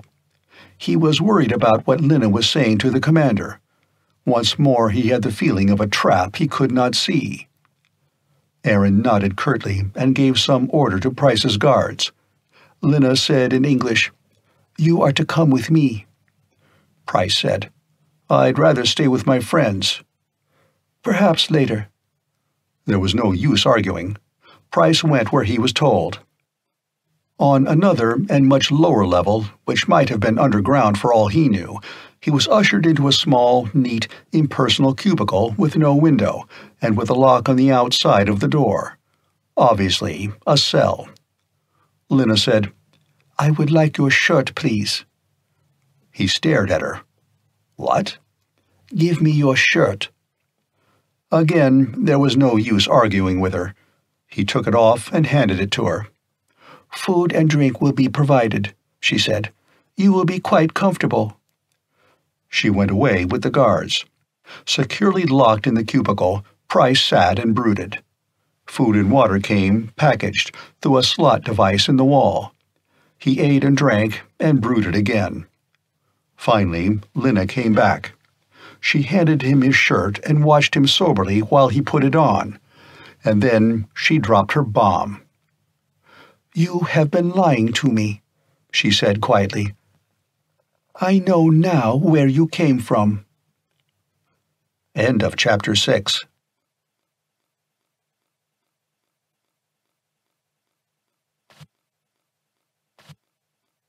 Citadel of the Star Lords by Edmond Hamilton. Chapter 7 Price stood stone still, meeting her gaze.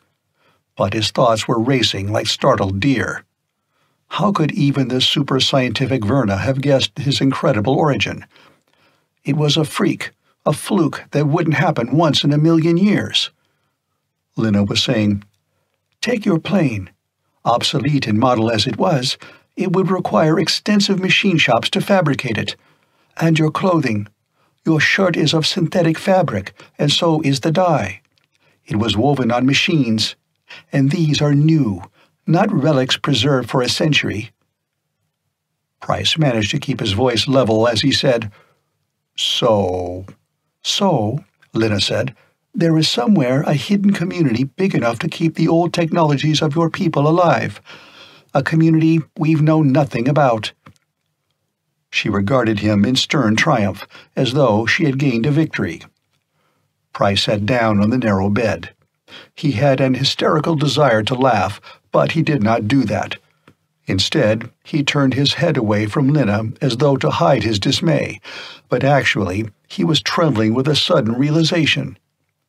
She had just given him his chance, if he kept his head and played it right.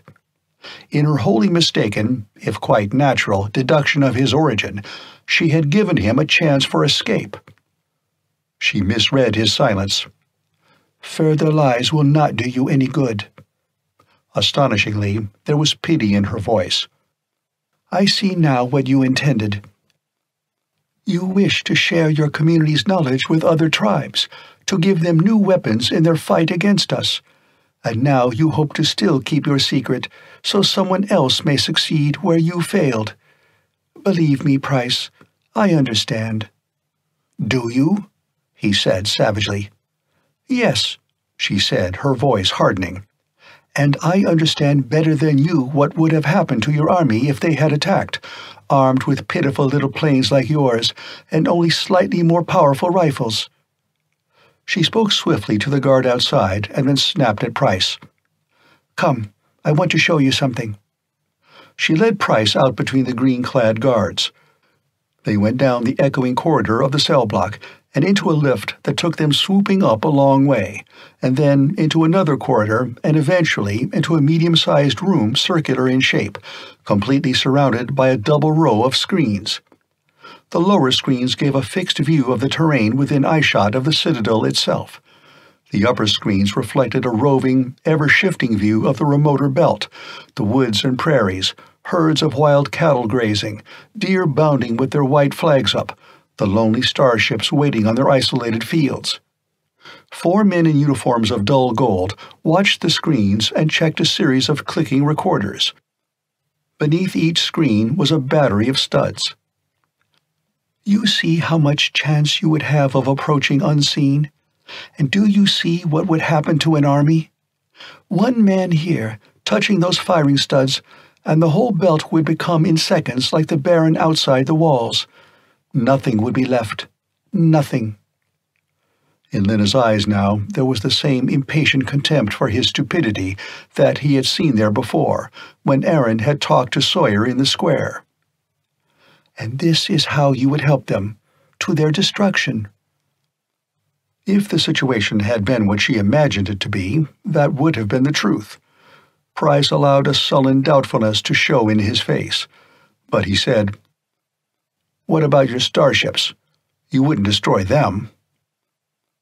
They can be flown on autopilot at a moment's notice out of harm's way. Oh, for heaven's sake, Price, can't you see that I'm trying to help you? I don't want your people slaughtered. We, the Verna, don't want them slaughtered. But if you persist in battering your stubborn heads, all right, all right, he said crossly. You've got the weight and weapons. Let's get out of here. It makes me sick to think how helpless we are. They went outside into the corridor again. At its end there was a window, and Price stood by it, looking out. He pretended to be sunk in bitter reflection, but his brain was spinning furiously, trying to see all ways at once. He said, If I show you where our hidden colony is, you'll only smash it up. There's a lot there that isn't weapons, things that could help build up a civilization again. Why would I show you? To keep some other idiot from trying to do what you have done? We won't destroy anything that's useful only control it as to the production of weapons. She sighed and added, I hate to put it this way, Price, but if you don't show me willingly, it will have to be another way, and I don't want that. There was a real ring of sincerity in her voice. Price grumbled around a bit, permitting himself to be beaten. All right, he said at last. I guess there's nothing for it. I'll show you. Good. I'll arrange for a flyer. Her voice was drowned out by a sudden hooting of sirens all through the citadel. For a moment, no one moved. Lena's face became drained of all color. The guards stiffened, staring in a kind of wonder. The steel shutter of the window clanged to with a ringing snap, and Price could feel in that vast building a stirring and buzzing as of a menaced hive. What is it? He asked, his feeling of triumph beginning to slip away almost before he had had time to enjoy it. Lena's voice was quite steady when she answered. Possibly nothing. You must return to your cell now. We'll discuss the trip later. The siren stopped. The guards hustled Price along urgently now, as though they had more important things to attend to. The Verna were shifting rapidly from places to other places, but all in good order. Only their faces were tense, and they did not talk except to pass an order or ask for one. It was obvious that there was an alarm, that the Citadel was taking up battle stations, and that everyone was, if not afraid, at least severely uneasy. Price began to be uneasy too. Nevertheless, he noted the symbol that identified the door and studied the life controls as he was dropped down to the prison level again. In perfect silence, they stepped from the lift and started down the corridor toward Price's cell. Then the siren screeched again, but on a different note. Lena gave a little sigh. Without thinking about it, he put his arm around her. All clear? Yes. What a relief. I'm technically a soldier, but I'm afraid a technicality is all it is. I. Shh. Listen. A clear metallic voice had begun to speak over some communicator system that apparently reached every corner of the citadel. Lena drew away from him without seeming to notice his familiarity, listening intently. The guards listened too, and so did three or four other Verna visible in the corridor. Price could understand nothing except that the word A occurred several times. The Verna's favorite bogeyman. He wondered if the Verna powers that were used it to hoodwink their own people, too. It would explain Lena's sincerity, Aaron's honest annoyance, if they themselves believed in a menace called the A. The window at the end of the corridor had reappeared as the safety shutter slid back. Through it, tantalizingly small and far away, Price watched the landing of a starship, and it was disappointingly remote and unreal as a scene done with models for an old film until he felt the mighty fabric of the citadel, man-made mountain of steel and iron, quiver underneath him with the shock wave of that landing. Then he knew. The voice stopped speaking. There was a moment of dead quiet, as though what the voice had said was more momentous than the alarm. Lena's face was pale again, and the guards looked both excited and apprehensive. One of them spoke to Lena, and she shook her head, apparently giving him a reassuring answer. Price said irritably, Can you tell me what's going on? There was a skirmish, she said, out there. That's what the alarm was, to tell us there was fighting going on, but of course it was already over. There was only one A ship, a scout.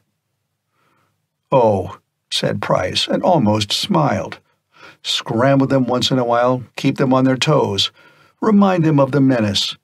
It was a simple technique. Earthmen had evolved it quite early. People were talking now. He could hear their voices echoing down the metal halls, excited, fearful. Several went to the window to crane their necks at the distant starship. And then the metallic voice began to speak again, very crisp and clipped. Maximum security, Lena said. All corridors cleared, all doors and safety bulkheads locked, all off duty personnel in quarters. Go in, Price. She pointed to his cell door. I have to hurry. The corridor was clearing like magic. Price hung obstinately in the doorway. What now? They captured the scout. They're bringing in two of the A, alive. One of the guards shoved him in, and the door slammed shut on its magnetic lock. Price lay down on the bunk. So, they had captured a scout, and they were bringing in 2A alive, and everybody in the Citadel was ordered behind locked doors. Handy. Very. He was beginning to feel less hostility toward at least some of the Verna. They were not so hard-headed and skeptical as the Earthmen. They believed, and the belief was keeping them here to man an outpost fort when they would doubtless much rather return home. He found himself unaccountably pleased that he had an excuse to stop hating Lena. He thought about the plan he had in mind until he went to sleep. It was difficult, in that windowless and practically soundproof place, to judge the passage of time. To Price, it seemed like centuries. He slept and woke and ate and paced around, and fretted between hope and a despairing certainty that Lina had forgotten all about him. He slept again, and was awakened from that sleep by the deep shuddering of the citadel as a starship either landed or took off. He lay drowsily wondering what it was like to fly one of those mighty craft, traitorously wishing he was a Verna so he might have a chance to find out, and dreaming of space and stars and foreign worlds. The citadel shook again, and yet again, and Price came wide awake. He counted twenty-one, and there was no way of knowing how many landings or takeoffs had occurred before he woke, or too far out in the belt to be noticed here. Certainly, some large movement was underway. He took to pacing again, in a sweat of worry over what this meant, not to the Verna, but to him. After what seemed an eternity, the door opened, and Lena stood there, looking pale and grave. There were no guards with her. She was alone. The flyer is waiting, Price, she said. Let's go. He joined her, and now he saw that the aspect of the corridor had changed. A sliding bulkhead had closed off part of it behind a wall of iron. What's that for? he asked. Our prisoners, said Lena, as though the words stuck to her tongue. Come on. She seemed in a great hurry to get away from that bulkhead. Price said, What's the matter? Aren't they human or something? She gave him a look. You still think it's all a great joke. I didn't say that. You mean it, though. You still believe the A are something we made up to shift the blame from ourselves. Probably you believe we are staging this whole matter to impress you and your chief, so that you will go back and assure your tribesmen it is all true.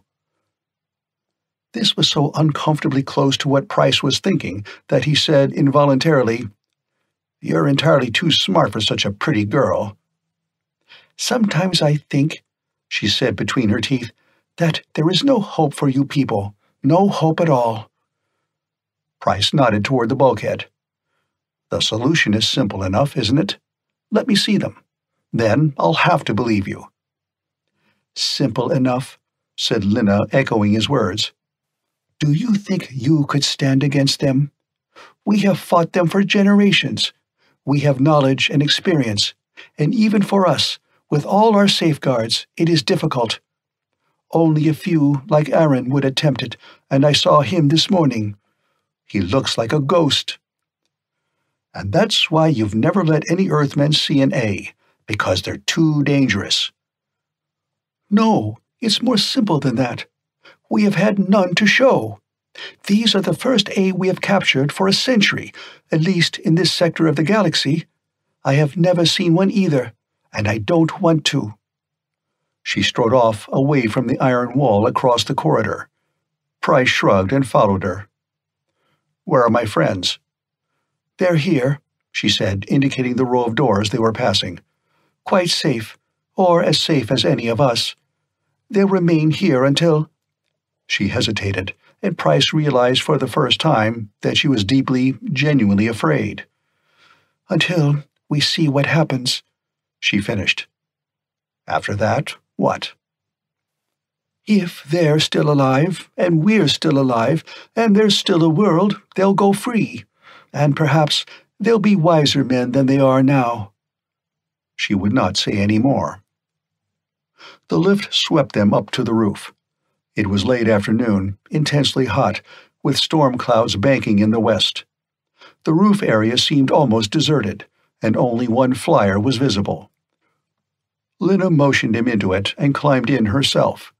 She spoke to the pilot, and he took off immediately.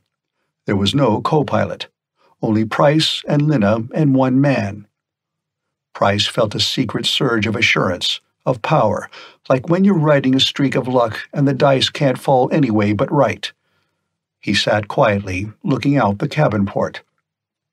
He saw almost at once that the starships were gone. The whole Verna fleet must have taken off, shaking the Citadel with their leaving. Probably most of the men had gone with it.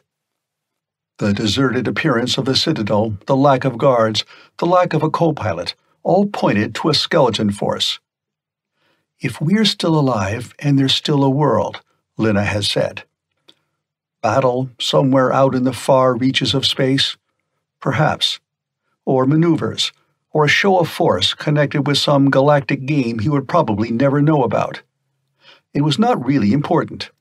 What was important was the fact that, for the present, the defenses of the Citadel were weaker, much weaker. He sat looking out the port and covertly watching the pilot's hands on the controls. Lina had some kind of a sidearm strapped around her slender waist. Probably a shocker. The pilot had one too.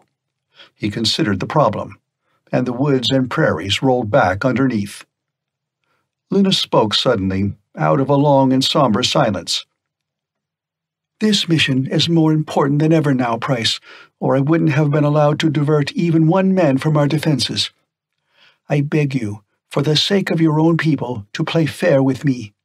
If there's either help or hindrance in our rear, we must know it. The A.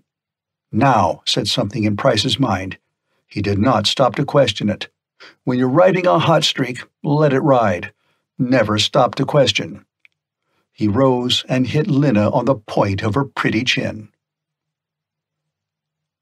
End of chapter 7.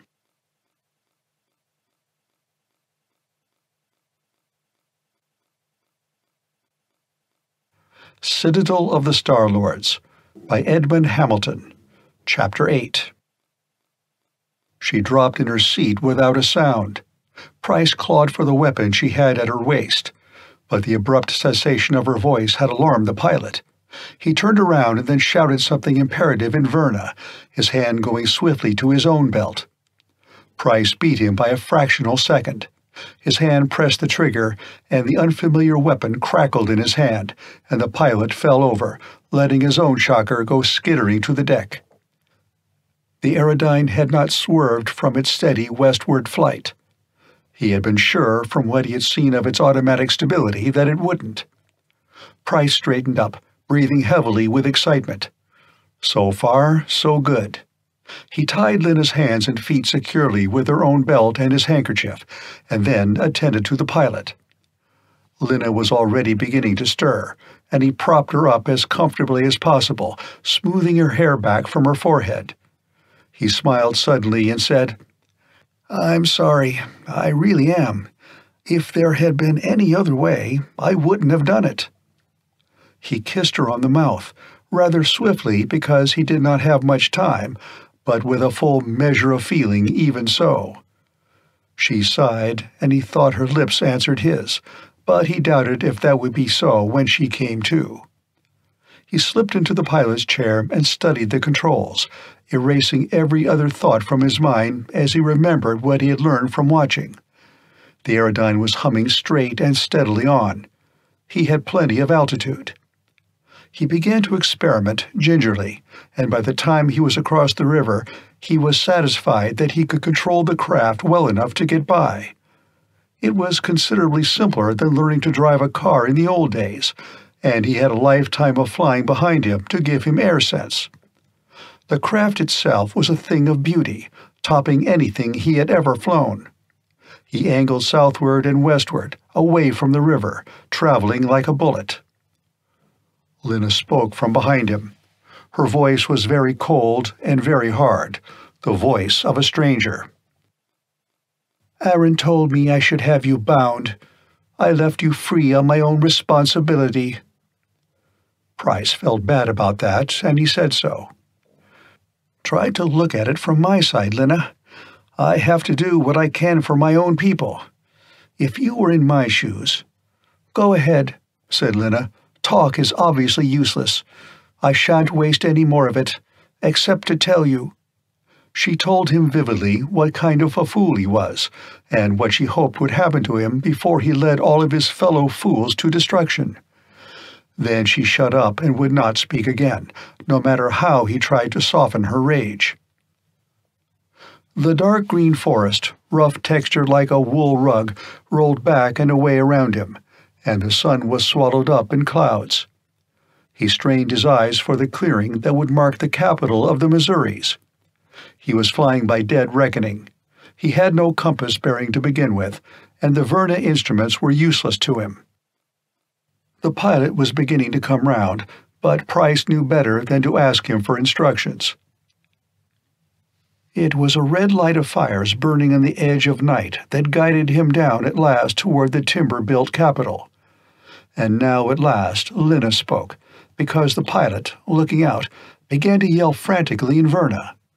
She translated. He says, Do not cut the downblast so sharply, or you will crash. That lever, there under your left hand, ease it back. Price eased it. He settled down to a rough and ragged landing, just about where the Verna craft had settled before, when he had been Sawyer's prisoner. Men came out of the houses and along the streets, to stand as they had stood then, to greet their hated overlords with silence and contempt. Price jumped out of the craft and approached the fires. There was a startled cry, and then his name echoed back and forth, and the men closed around him. They were inclined to be hostile, demanding to know where Sawyer was, and what had happened, and how he came to be piloting a Verna flyer. Price shouted for quiet. Sawyer's alive. He's a prisoner in the Citadel. So are Burr and Twist. You want to rescue them? That startled him. Listen, Price started, and then he saw Oakes pushing toward him with a small, determined-looking group of men. Stand back, Oakes demanded. Stand back there. This man is a traitor. He betrayed the Council. He betrayed Sawyer. If you listen to him, he'll betray you. He turned to Price. You get back to your Verna masters. Tell them we're not going to. Oh, shut up, said Price impatiently. You're not chief here, and you never will be, no matter if you do leave Sawyer to rot in the citadel. He took the shocker from his belt where he had thrust it. I stole that flyer from the Verna, and I stole this too. I'll use it on you if I have to. Oakes looked ugly, but he hesitated, and Price said, some of you, if you want proof of what I say, go look in the flyer. Go on. Several men detached themselves from the crowd and went off at a trot toward the flyer. Presently they began to whoop and halloo. They came back carrying the pilot and Lena, who looked at Price with the utmost hatred. It looks like a trick to me, said Oakes. They could have been bound on purpose. Price said, does it look like a trick that every starship of the Citadel fleet took off last night? You must have heard or seen them, even at this distance. Yes, said a lean farmer. Streaks of fire in the sky before dawn. I was milking. Others had seen them too, and now a note of excitement crept into their voices. What's it mean? What's happened there? What are you after? The citadel is stripped, he said and I know where the fire control is that commands the belt. With this flyer, I can land right on the Citadel without being challenged. I can take some of you with me, and we can knock out those weapons. You can walk right in with no more opposition than brave men ought to be able to handle. You.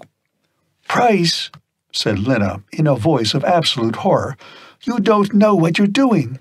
The fleet has gone out to fight the A. Aaron forced some information out of the captives. The A fleet is somewhere outside the solar system, and our fleet's out to intercept it. The terror in her voice increased. But if the A forces evade our fleet and strike directly at our base here, don't you see? Only our great missile batteries around the Citadel can defend Earth. If you storm the Citadel, there'll be no defenses at all. He said, Lena, I know you believe in the A. Probably most of your people do. But you've never seen one. In a century, no one on Earth has seen one. They're a myth, a political stratagem, that's all. She shook her head, groping desperately for words. Don't follow him, she cried out to the men. Don't listen to him. We're fighting for your lives and safety, too. Don't be so mad as to stab us in the back now. They looked at her in the firelight, the flint faced men who were weary of Star Lords. Then, without paying Oaks any attention at all, they looked at Price. He's right, drawled one of them. The Star Spawn have given us the lie about the A too long. Ain't a kid on earth believes it. Lena's head bent hopelessly forward, and she turned away. She still believes it, every word, thought Price. Poor Lena. He would have given anything to comfort her. But there was no time for comfort, no time for anything but planning. He said, You've heard. You know this chance may never come again. Are you with me? And they answered, Yes. All right, said Price. All right. We've got to have a council to make plans, and then we'll have to move fast to strike before the fleet comes back. Who are your leaders after Sawyer? Five or six men came forward, district sub chiefs. One of them nodded his head toward the two Verna. What'll we do with them? Treat them well, said Price sternly. They're your assurance of Sawyer's life. He didn't know whether they were or not, but he didn't want Lena to suffer even discomfort because of him. He added, Make sure they don't talk to anyone, though, and remember, there was a traitor at the big council. You'd better all keep a lookout for signals and communication devices. And now, let's talk. The council lasted far into the night. Price's biggest problem was to persuade the tribesmen not to bring their guns. The metal detector units on the flying eyes would spot you before you'd gone ten miles into the belt, and I can't take the control room that far ahead. It couldn't possibly be held that long, and no matter how we might smash the weapon controls, they'd have time to patch them up and use them on you. You'll have to infiltrate the belt on all sides, keeping under cover, and get within striking distance before I land on the Citadel. Besides, against the Verna shockers, your guns aren't much more use than your hunting bolos. We'll try and give you better weapons once we're inside. Of course, said one leathery faced sub chief, when you've got us and the Ohio's and Kentucky's and the rest all in the belt, it would be a mighty easy thing for you to give them the word at the Citadel and have us all wiped out at once, like that. Price said harshly, It's up to you whether you want to take the gamble or not. If I'm on the level, you can take the Citadel and get the Star Lords off your back. If I'm not, you're dead. But you won't get a chance like this again. Make up your minds. They made them up. How shall word be sent in time to the other tribes? It'll take days for a man on horseback to get around to the east and north. I'll take the word, said Price, in the flyer. By sundown tomorrow, there'll be men from every tribe ready to move into the belt.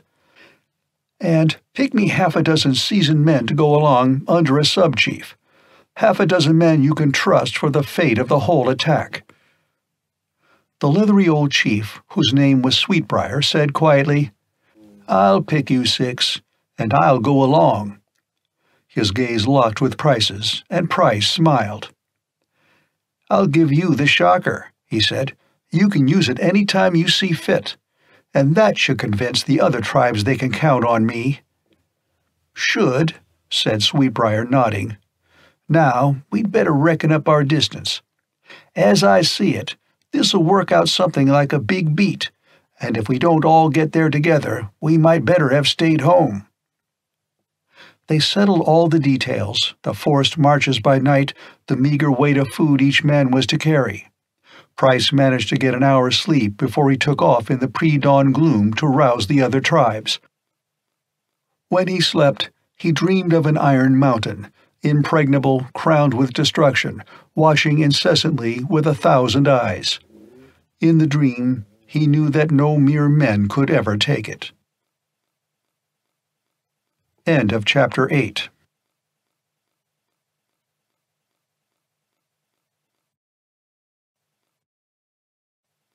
Citadel of the Star Lords by Edmond Hamilton. Chapter 9. The Aerodyne flew high in the black night toward the citadel. Above there were clear stars. Below there were heavy clouds laced with lightning, hiding the earth, hiding the belt and the lines of men who moved in it among the dark trees in the wind and the rain. One full night had passed, and another was drawing to its close. Before the sun went down again, it would be all over, one way or the other. Price was in that state of exaltation that comes at a certain point of prolonged tension without rest, where you move a little bit outside your body and above the ground, detached from every normal consideration, and everything seems to go with a clear, headlong rush, as though a single initiating act has set an inevitable series of reactions going, and all you have to do is keep pace with them. He had not slept much, but he was not tired. The aspect of the citadel roof, the round red circle of the lift and the controls thereof, the symbol marking the proper level, the shape and size and position of the fire control center burned brightly in his mind. Their set and proper sequence did not permit of any obstacles. Sweetbriar sat beside him in the co-pilot's place. He held the shocker in his gnarly hands, and from time to time he turned it over or stroked its smooth and unfamiliar shape. So far, he had not had any occasion to use it. He had stood beside Price in a dozen wooden built towns, helping him harangue a dozen doubtful chiefs or sub chiefs around the perimeter of the belt. He had not slept much either, but his eye was brilliant and steely as a hawk's. If the sensation of flight frightened him, he had not shown it in any way. The six men of his picking sat quietly in the cabin. They might have been the same six men Price had first met when he landed in the belt woods rangers, hunters of deer and wild cattle, all speed and muscle, born fighters. They were as lax as idle hound dogs now, when there was nothing to be done. They too had mastered whatever fear they had had of flying. The storm below was moving rapidly toward the east over a broad front. Price could easily have outflown it, but he did not, only keeping high enough above it to get a sighting on the citadel when it came into visual range. He was grateful for the storm. It seemed like an omen of good fortune. It would cover the advance of the tribesmen from the west, and it would cover his own landing if he paced it properly. A thick night would make it easier to get his attacking party onto the lift, and perhaps even below, before it was realized that they were not Lina's party returning. Poor Lina. He had seen her for just a minute before he left the capital of the Missouris. He had wanted to make sure she was safe and comfortable, and he had wanted to try once more to make her understand how he felt. I'm not your enemy, Lina, he had said. Believe that. After this is all over.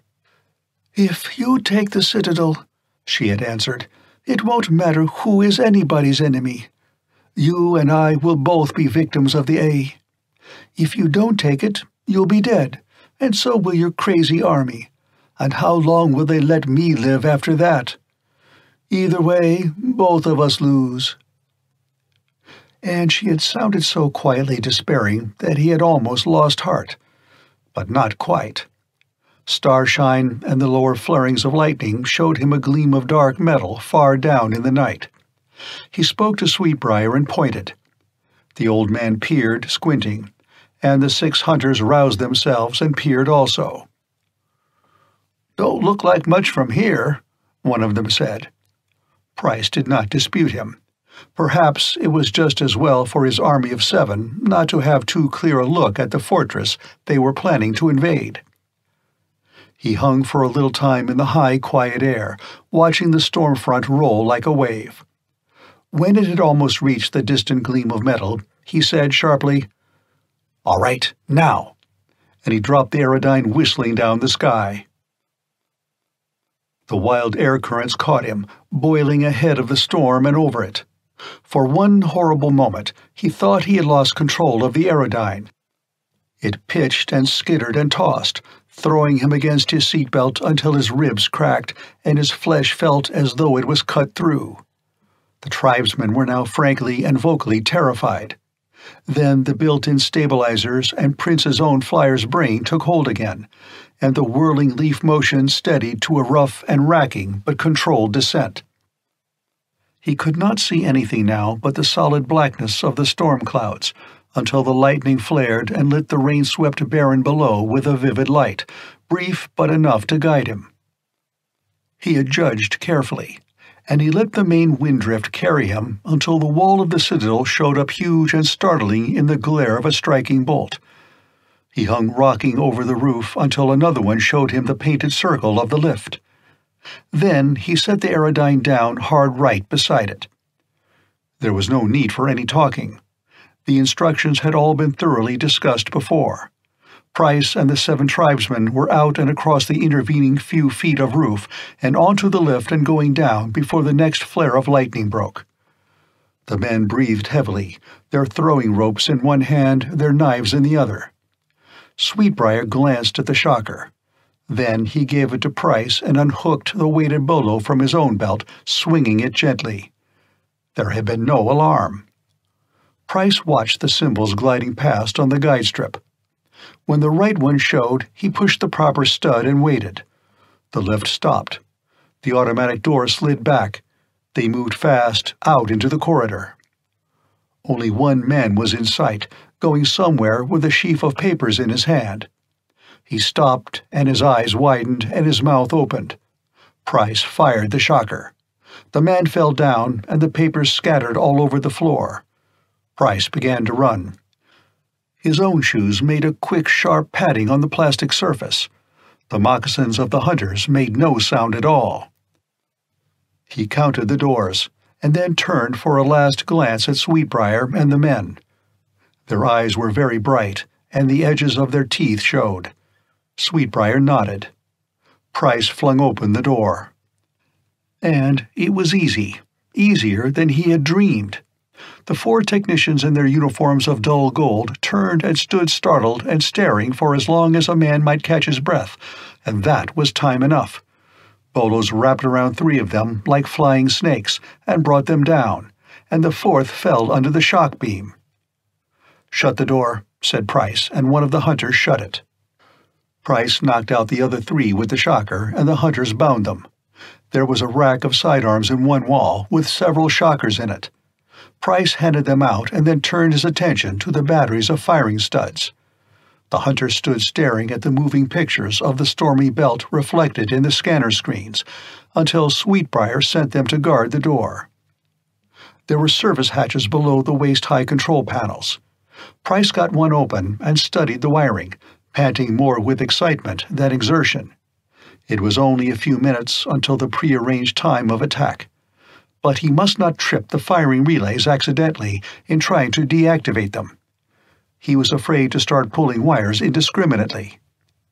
But where the individual leads ran back to join the primary cable, they passed through a series of switches. It seemed logical to Price that these were safety cutoffs to be used during maintenance, and that they would cut off the nameless destructive engines on the roof. He had nothing better to go on, and time had almost run out. He opened one of the switches and glanced swiftly at the screens. Nothing happened. He flipped open the others fast and ripped the wires loose from the board.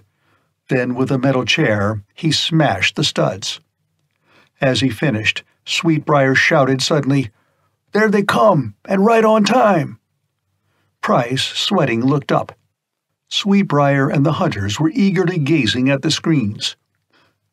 They showed the storm swept belt, and they showed small dark figures in it, hundreds of them, thousands, tribesmen running toward the citadel. An alarm bell rang somewhere in the citadel. Instantly, other bells echoed it, a distant confusion of alarms. Out of here fast, Price cried. This is the first place the Verna will be coming. If we can get down through, we can help the others.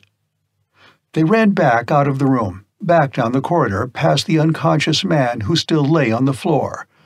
Whatever happened now, the tribesmen pouring across the belt were safe from the weapons on the roof. Without warning, the lift door opened right in front of them, and five green clad Verna came spilling out of it. There was no chance to use shockers or bolos either. They were so close to each other that it was hands and fists. They struggled, gripping and striking at each other, their feet slipping on the smooth floor, with the clamor of bells in the background. A new note was added to that clamor a dim sound of yelling voices, many of them surging up from the lower part of the citadel. The tribes are in, shouted Sweetbriar. By God, I. He was knocked back by a flailing green arm. His Verna antagonist scrabbled to get his shocker out of his belt. Price desperately kicked out at his own personal foe and banged him back against the metal wall. He saw the silver head bang the wall, and the man sagged at the knees. Price rushed and knocked up the shocker now leveled at Sweetbriar. The hunters yelped, their eyes blazing. It was their kind of a fight. They liked it. After a sullen lifetime, they were using their fists on the Star Lords, and they liked that. The surge of sound from levels underneath told of a far bigger melee down there, spreading through the citadel. And then that sound, and the small personal noises of their own staggering fight, were cut across by a brutal authoritative new sound. A hooting, loud and commanding, getting louder by the second, braying like the voice of doom through the vast iron pile. The two Vernas still left on their feet tried to turn and run down the corridor. The hunter's bolos brought them down quickly. Sweetbriar's leathery old face was wild and startled as he got to his feet. What the hell? That's the Verna's big battle station siren, Price said. They're a bit late with it. Come on he and the hunters began to look for stairs, racing swiftly along the deserted corridors. They found some at last and sped downward, level after level. Bellowing, deafening in volume now, the siren kept hooting. It could not drown out the tumultuous uproar that filled the lower levels. Price and the hunters were met suddenly by a mass of tribesmen boiling up from the ground level. They were screaming, laughing, capering in the halls, dragging with them one or two captured Verna, triumphant victors dancing down a hated power under their moccasined feet. Their hair and beards and their clothing were still dripping wet with rain. They swept up Price and Sweetbriar and the six others in their advancing front, pounding their shoulders, hugging them. We did it! We got 'em! they cried. We took the citadel! Is it all over? asked Price incredulously. So soon? That mighty caterwauling did it, said a red bearded man. All of a sudden, they quit fighting and began to run like it was a signal, but they couldn't get away from us. I heard they got old Aaron hisself down there, in a big room, cussing and crying fit to bust. Where's Sawyer? somebody shouted, and Sweetbriar took up the cry. Price said, Somewhere on this level, I think. Get a Verna that speaks English and make him show you. It'll save time. He pushed on through them to the stairs and fought his way down. He wanted to see Aaron. He wanted to see the pride of the citadel humbled, broken. Tribesmen rioted through the corridors, smashing things like happy children. They directed him to a vast sunken room, that Price knew must be the very heart and soul of the Citadel, its reason for being. It was an overpowering place of screens and towering panels and complex equipment. But these screens looked far beyond Earth, showing starry spaces, burning suns, and unimaginable dark abysses. From here, the Verna had watched the whole sector of outer space, and these complex controls must be the triggers of the mighty missile batteries outside the Citadel, the weapons that could strike fast and far into the void. Here there was a guard to keep out the roisterers. The soberer of the tribesmen had a sensible concern for the possible results of tampering with these incomprehensible but obviously mighty powers. They were afraid the whole citadel might blow up with them in it. A few technicians were still being hustled out as Price entered. A number of the chiefs were in here, and Aaron was with them, but he was neither cursing nor crying. He was standing between two muscular tribesmen, facing the chiefs, and his face held such an agony of despair and terror that Price was shaken by it. What must I do? he was saying, to make you understand. That warning came from our fleet. The A have invaded it in the Centaurus Gulf and are sweeping in towards Earth. If we don't defend the Citadel. He broke off as he saw Price come up. Then he said bitterly, I congratulate you. Few men can say that practically single handed they destroyed a world. One of the chiefs asked Price, Is Sawyer with you? Price shook his head. They have gone to free him now. He'll be here in a few minutes. Oh, my God, said Aaron softly. Don't let them free the A. Even two of them at large here we'd have no hope at all, with their fleet coming. He looked at Price, and Price's confident scorn drained slowly out of him, leaving a nasty void. Nobody, Verna or not, could counterfeit what he saw in Aaron's eyes. Do you wish me to go on my knees and beg? whispered Aaron. I'll do it. Only go up and stop them from opening that bulkhead and Price knew suddenly that he must do that. He turned and ran back along the hall and up the stairs, pushing and kicking his way past the knots of tribesmen who wanted to congratulate him for what he had done, and all the way there was a chill, unpleasant thing riding his back, and its first name was doubt, and its second fear. Was it possible, just barely possible, that the Verna had been telling the truth all the time? Uproar in the prison level guided him through a maze of corridors to an obbligato of breaking doors. He turned a corner. Burr and Twist and Sawyer were free. They formed part of the forefront of a group that was swarming down the hall, systematically breaking down the cell doors. Two Verna guards lay prone, and a third man, probably the English speaking guide, was trying to crawl away unnoticed, his face ashen with fear. The bulkhead was open. A man's voice neighed suddenly in terror. Then another and another, and the tribesmen were rolled back upon themselves as by the blow of a great hand, as the fore edge of the group turned and burst its way to the rear. There was a moment of wild panic.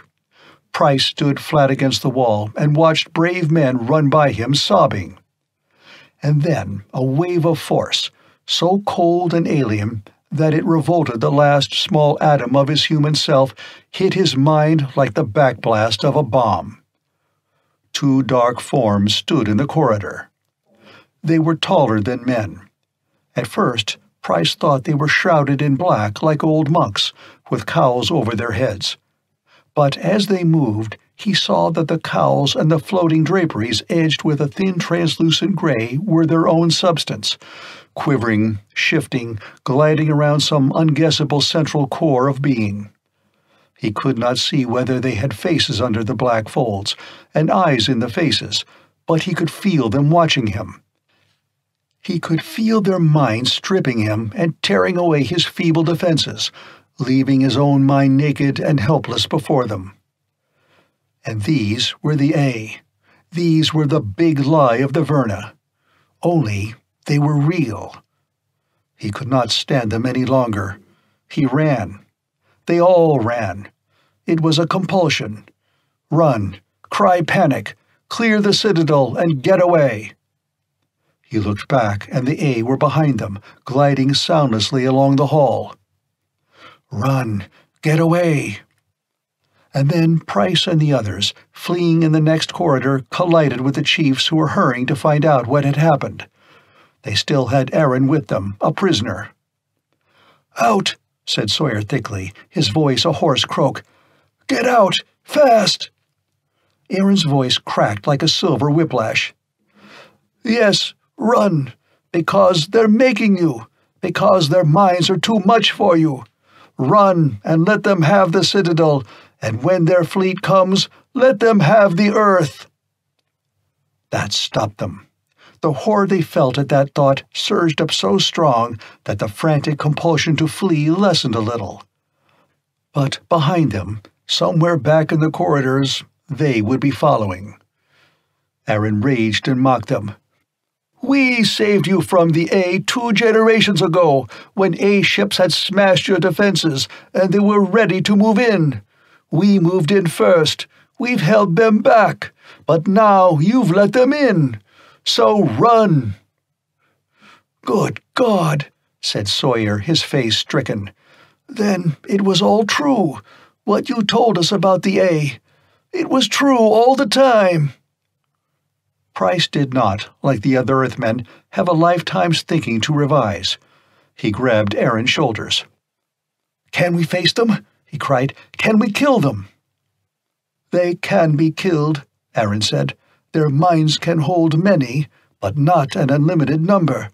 If we all rush them, many of us, there is a chance. Price yelled down the corridors.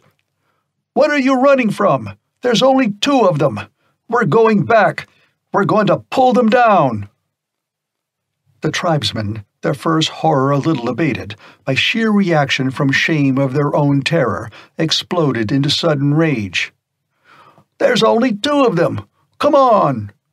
And then, of a sudden, they were all of them running back down the corridors, jostling, crowding, screaming. Price with Aaron beside him, with old Sweetbriar ahead, with Sawyer shouting in hoarse anger. A mob, not an army, a mob urged forward by its own horror. Around the corner and into the corridor where the two black shapes were gliding fast. And it was like walking into night and death, into bitter black winds and the stabbing of cruel swords, as the might of alien minds blasted at them. Tribesmen screamed and fell, clawing at their own heads. The mass behind forced over them, forced the reeling first wave right into the unimaginable shapes. Pull them down! Price was in the screeching forefront now, and he closed his eyes and struck with his knife at the cloudy darkness of a cowl. A cold like that of outer space struck through him, and he staggered, fainting and falling, and his mind closed on the awful sight of packed men swaying and pulling and striking at the two tall cowled shapes, mobbing them, beating them down. When Price opened his eyes, he was in another corridor, and old Sawyer was slapping his face with rough hands. Yes, said Sawyer thickly, they're dead and a good many men dead with them, and some others that act like their brains are dead. He shook his head a little wildly. To think it was true all the time. Boom! came a deep sound from outside the citadel, and then more of them in quick succession. Boom! Boom! Boom! Aaron, said Price, getting weakly to his feet. He's down in that room with his men said Sawyer, and they're turning loose on that A fleet out in space. And now the great missiles from the launchers outside the Citadel were going out so fast that the sounds of them could not be counted. Price said, Then you let him? Let him? repeated Sawyer. We asked him. Do you think we want a whole fleet of. of them reaching Earth? By the time Price and Sawyer got down to the missile control room, the deadly messengers were all on their way. Aaron and his men watched the screens and would not turn from them. Price and the tribesmen saw only burning stars and dark space in those screens, and then, finally, a little crackling of pinprick flares running like a swarm of fireflies in the dark void. Then nothing. Aaron turned. Sawyer said painfully, Did they? Yes, said Aaron. We caught them, but none too soon. Our fleet out there will mop up any A ships that survived. He added with slow weariness, We've won a battle, not a war. The A are many, but this outpost world is safe, and we'll press them back and back. Sawyer looked at Price.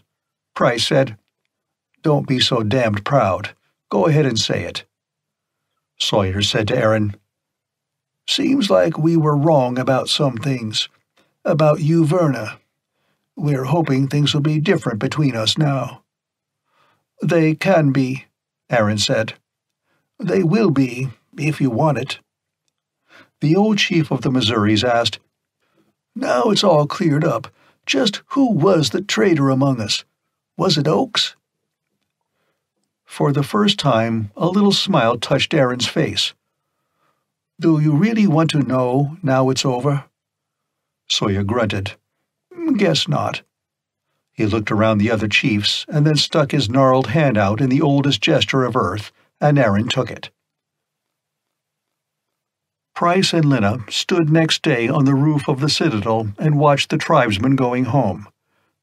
There was, there had always been, a stiff-necked pride in the men of Earth.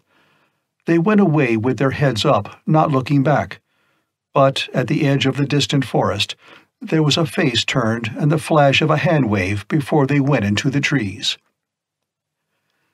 They'll come back, Price said. A few of them at first, then more and more to learn.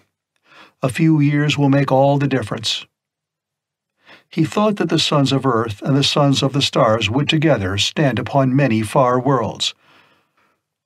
The long war against the A would end some day that dark and alien tide would be rolled back, and Earthmen would do their share. But that was all to come. Lena was saying earnestly, And the people of your own hidden colony in the West, they will join us too? Price looked at her. There is no colony, Lena. I came alone from the West. But your clothes, your plane, where did you come from? She was startled, her eyes wide and wondering. I'll explain all that later. You won't believe it at first. I hardly do myself. And, thinking of the strange freak of force and chance that had snatched him from the older Earth, Price felt a last pang of nostalgia for that lost world of long ago. That time when, safe on their cozy little planet, men had dreamed of space and stars it seemed now like a long-dead idol of youth. The Earth of those days could never come again. The wider galaxy had crashed in upon it, and terrible and magnificent realities had shattered the youthful dreams, and it was a different and sterner planet that was joining the community of star worlds. Who knew what awaited it on that wider cosmic stage? His hand tightened on Lena's of their own tiny part in that vast future, he felt suddenly very sure.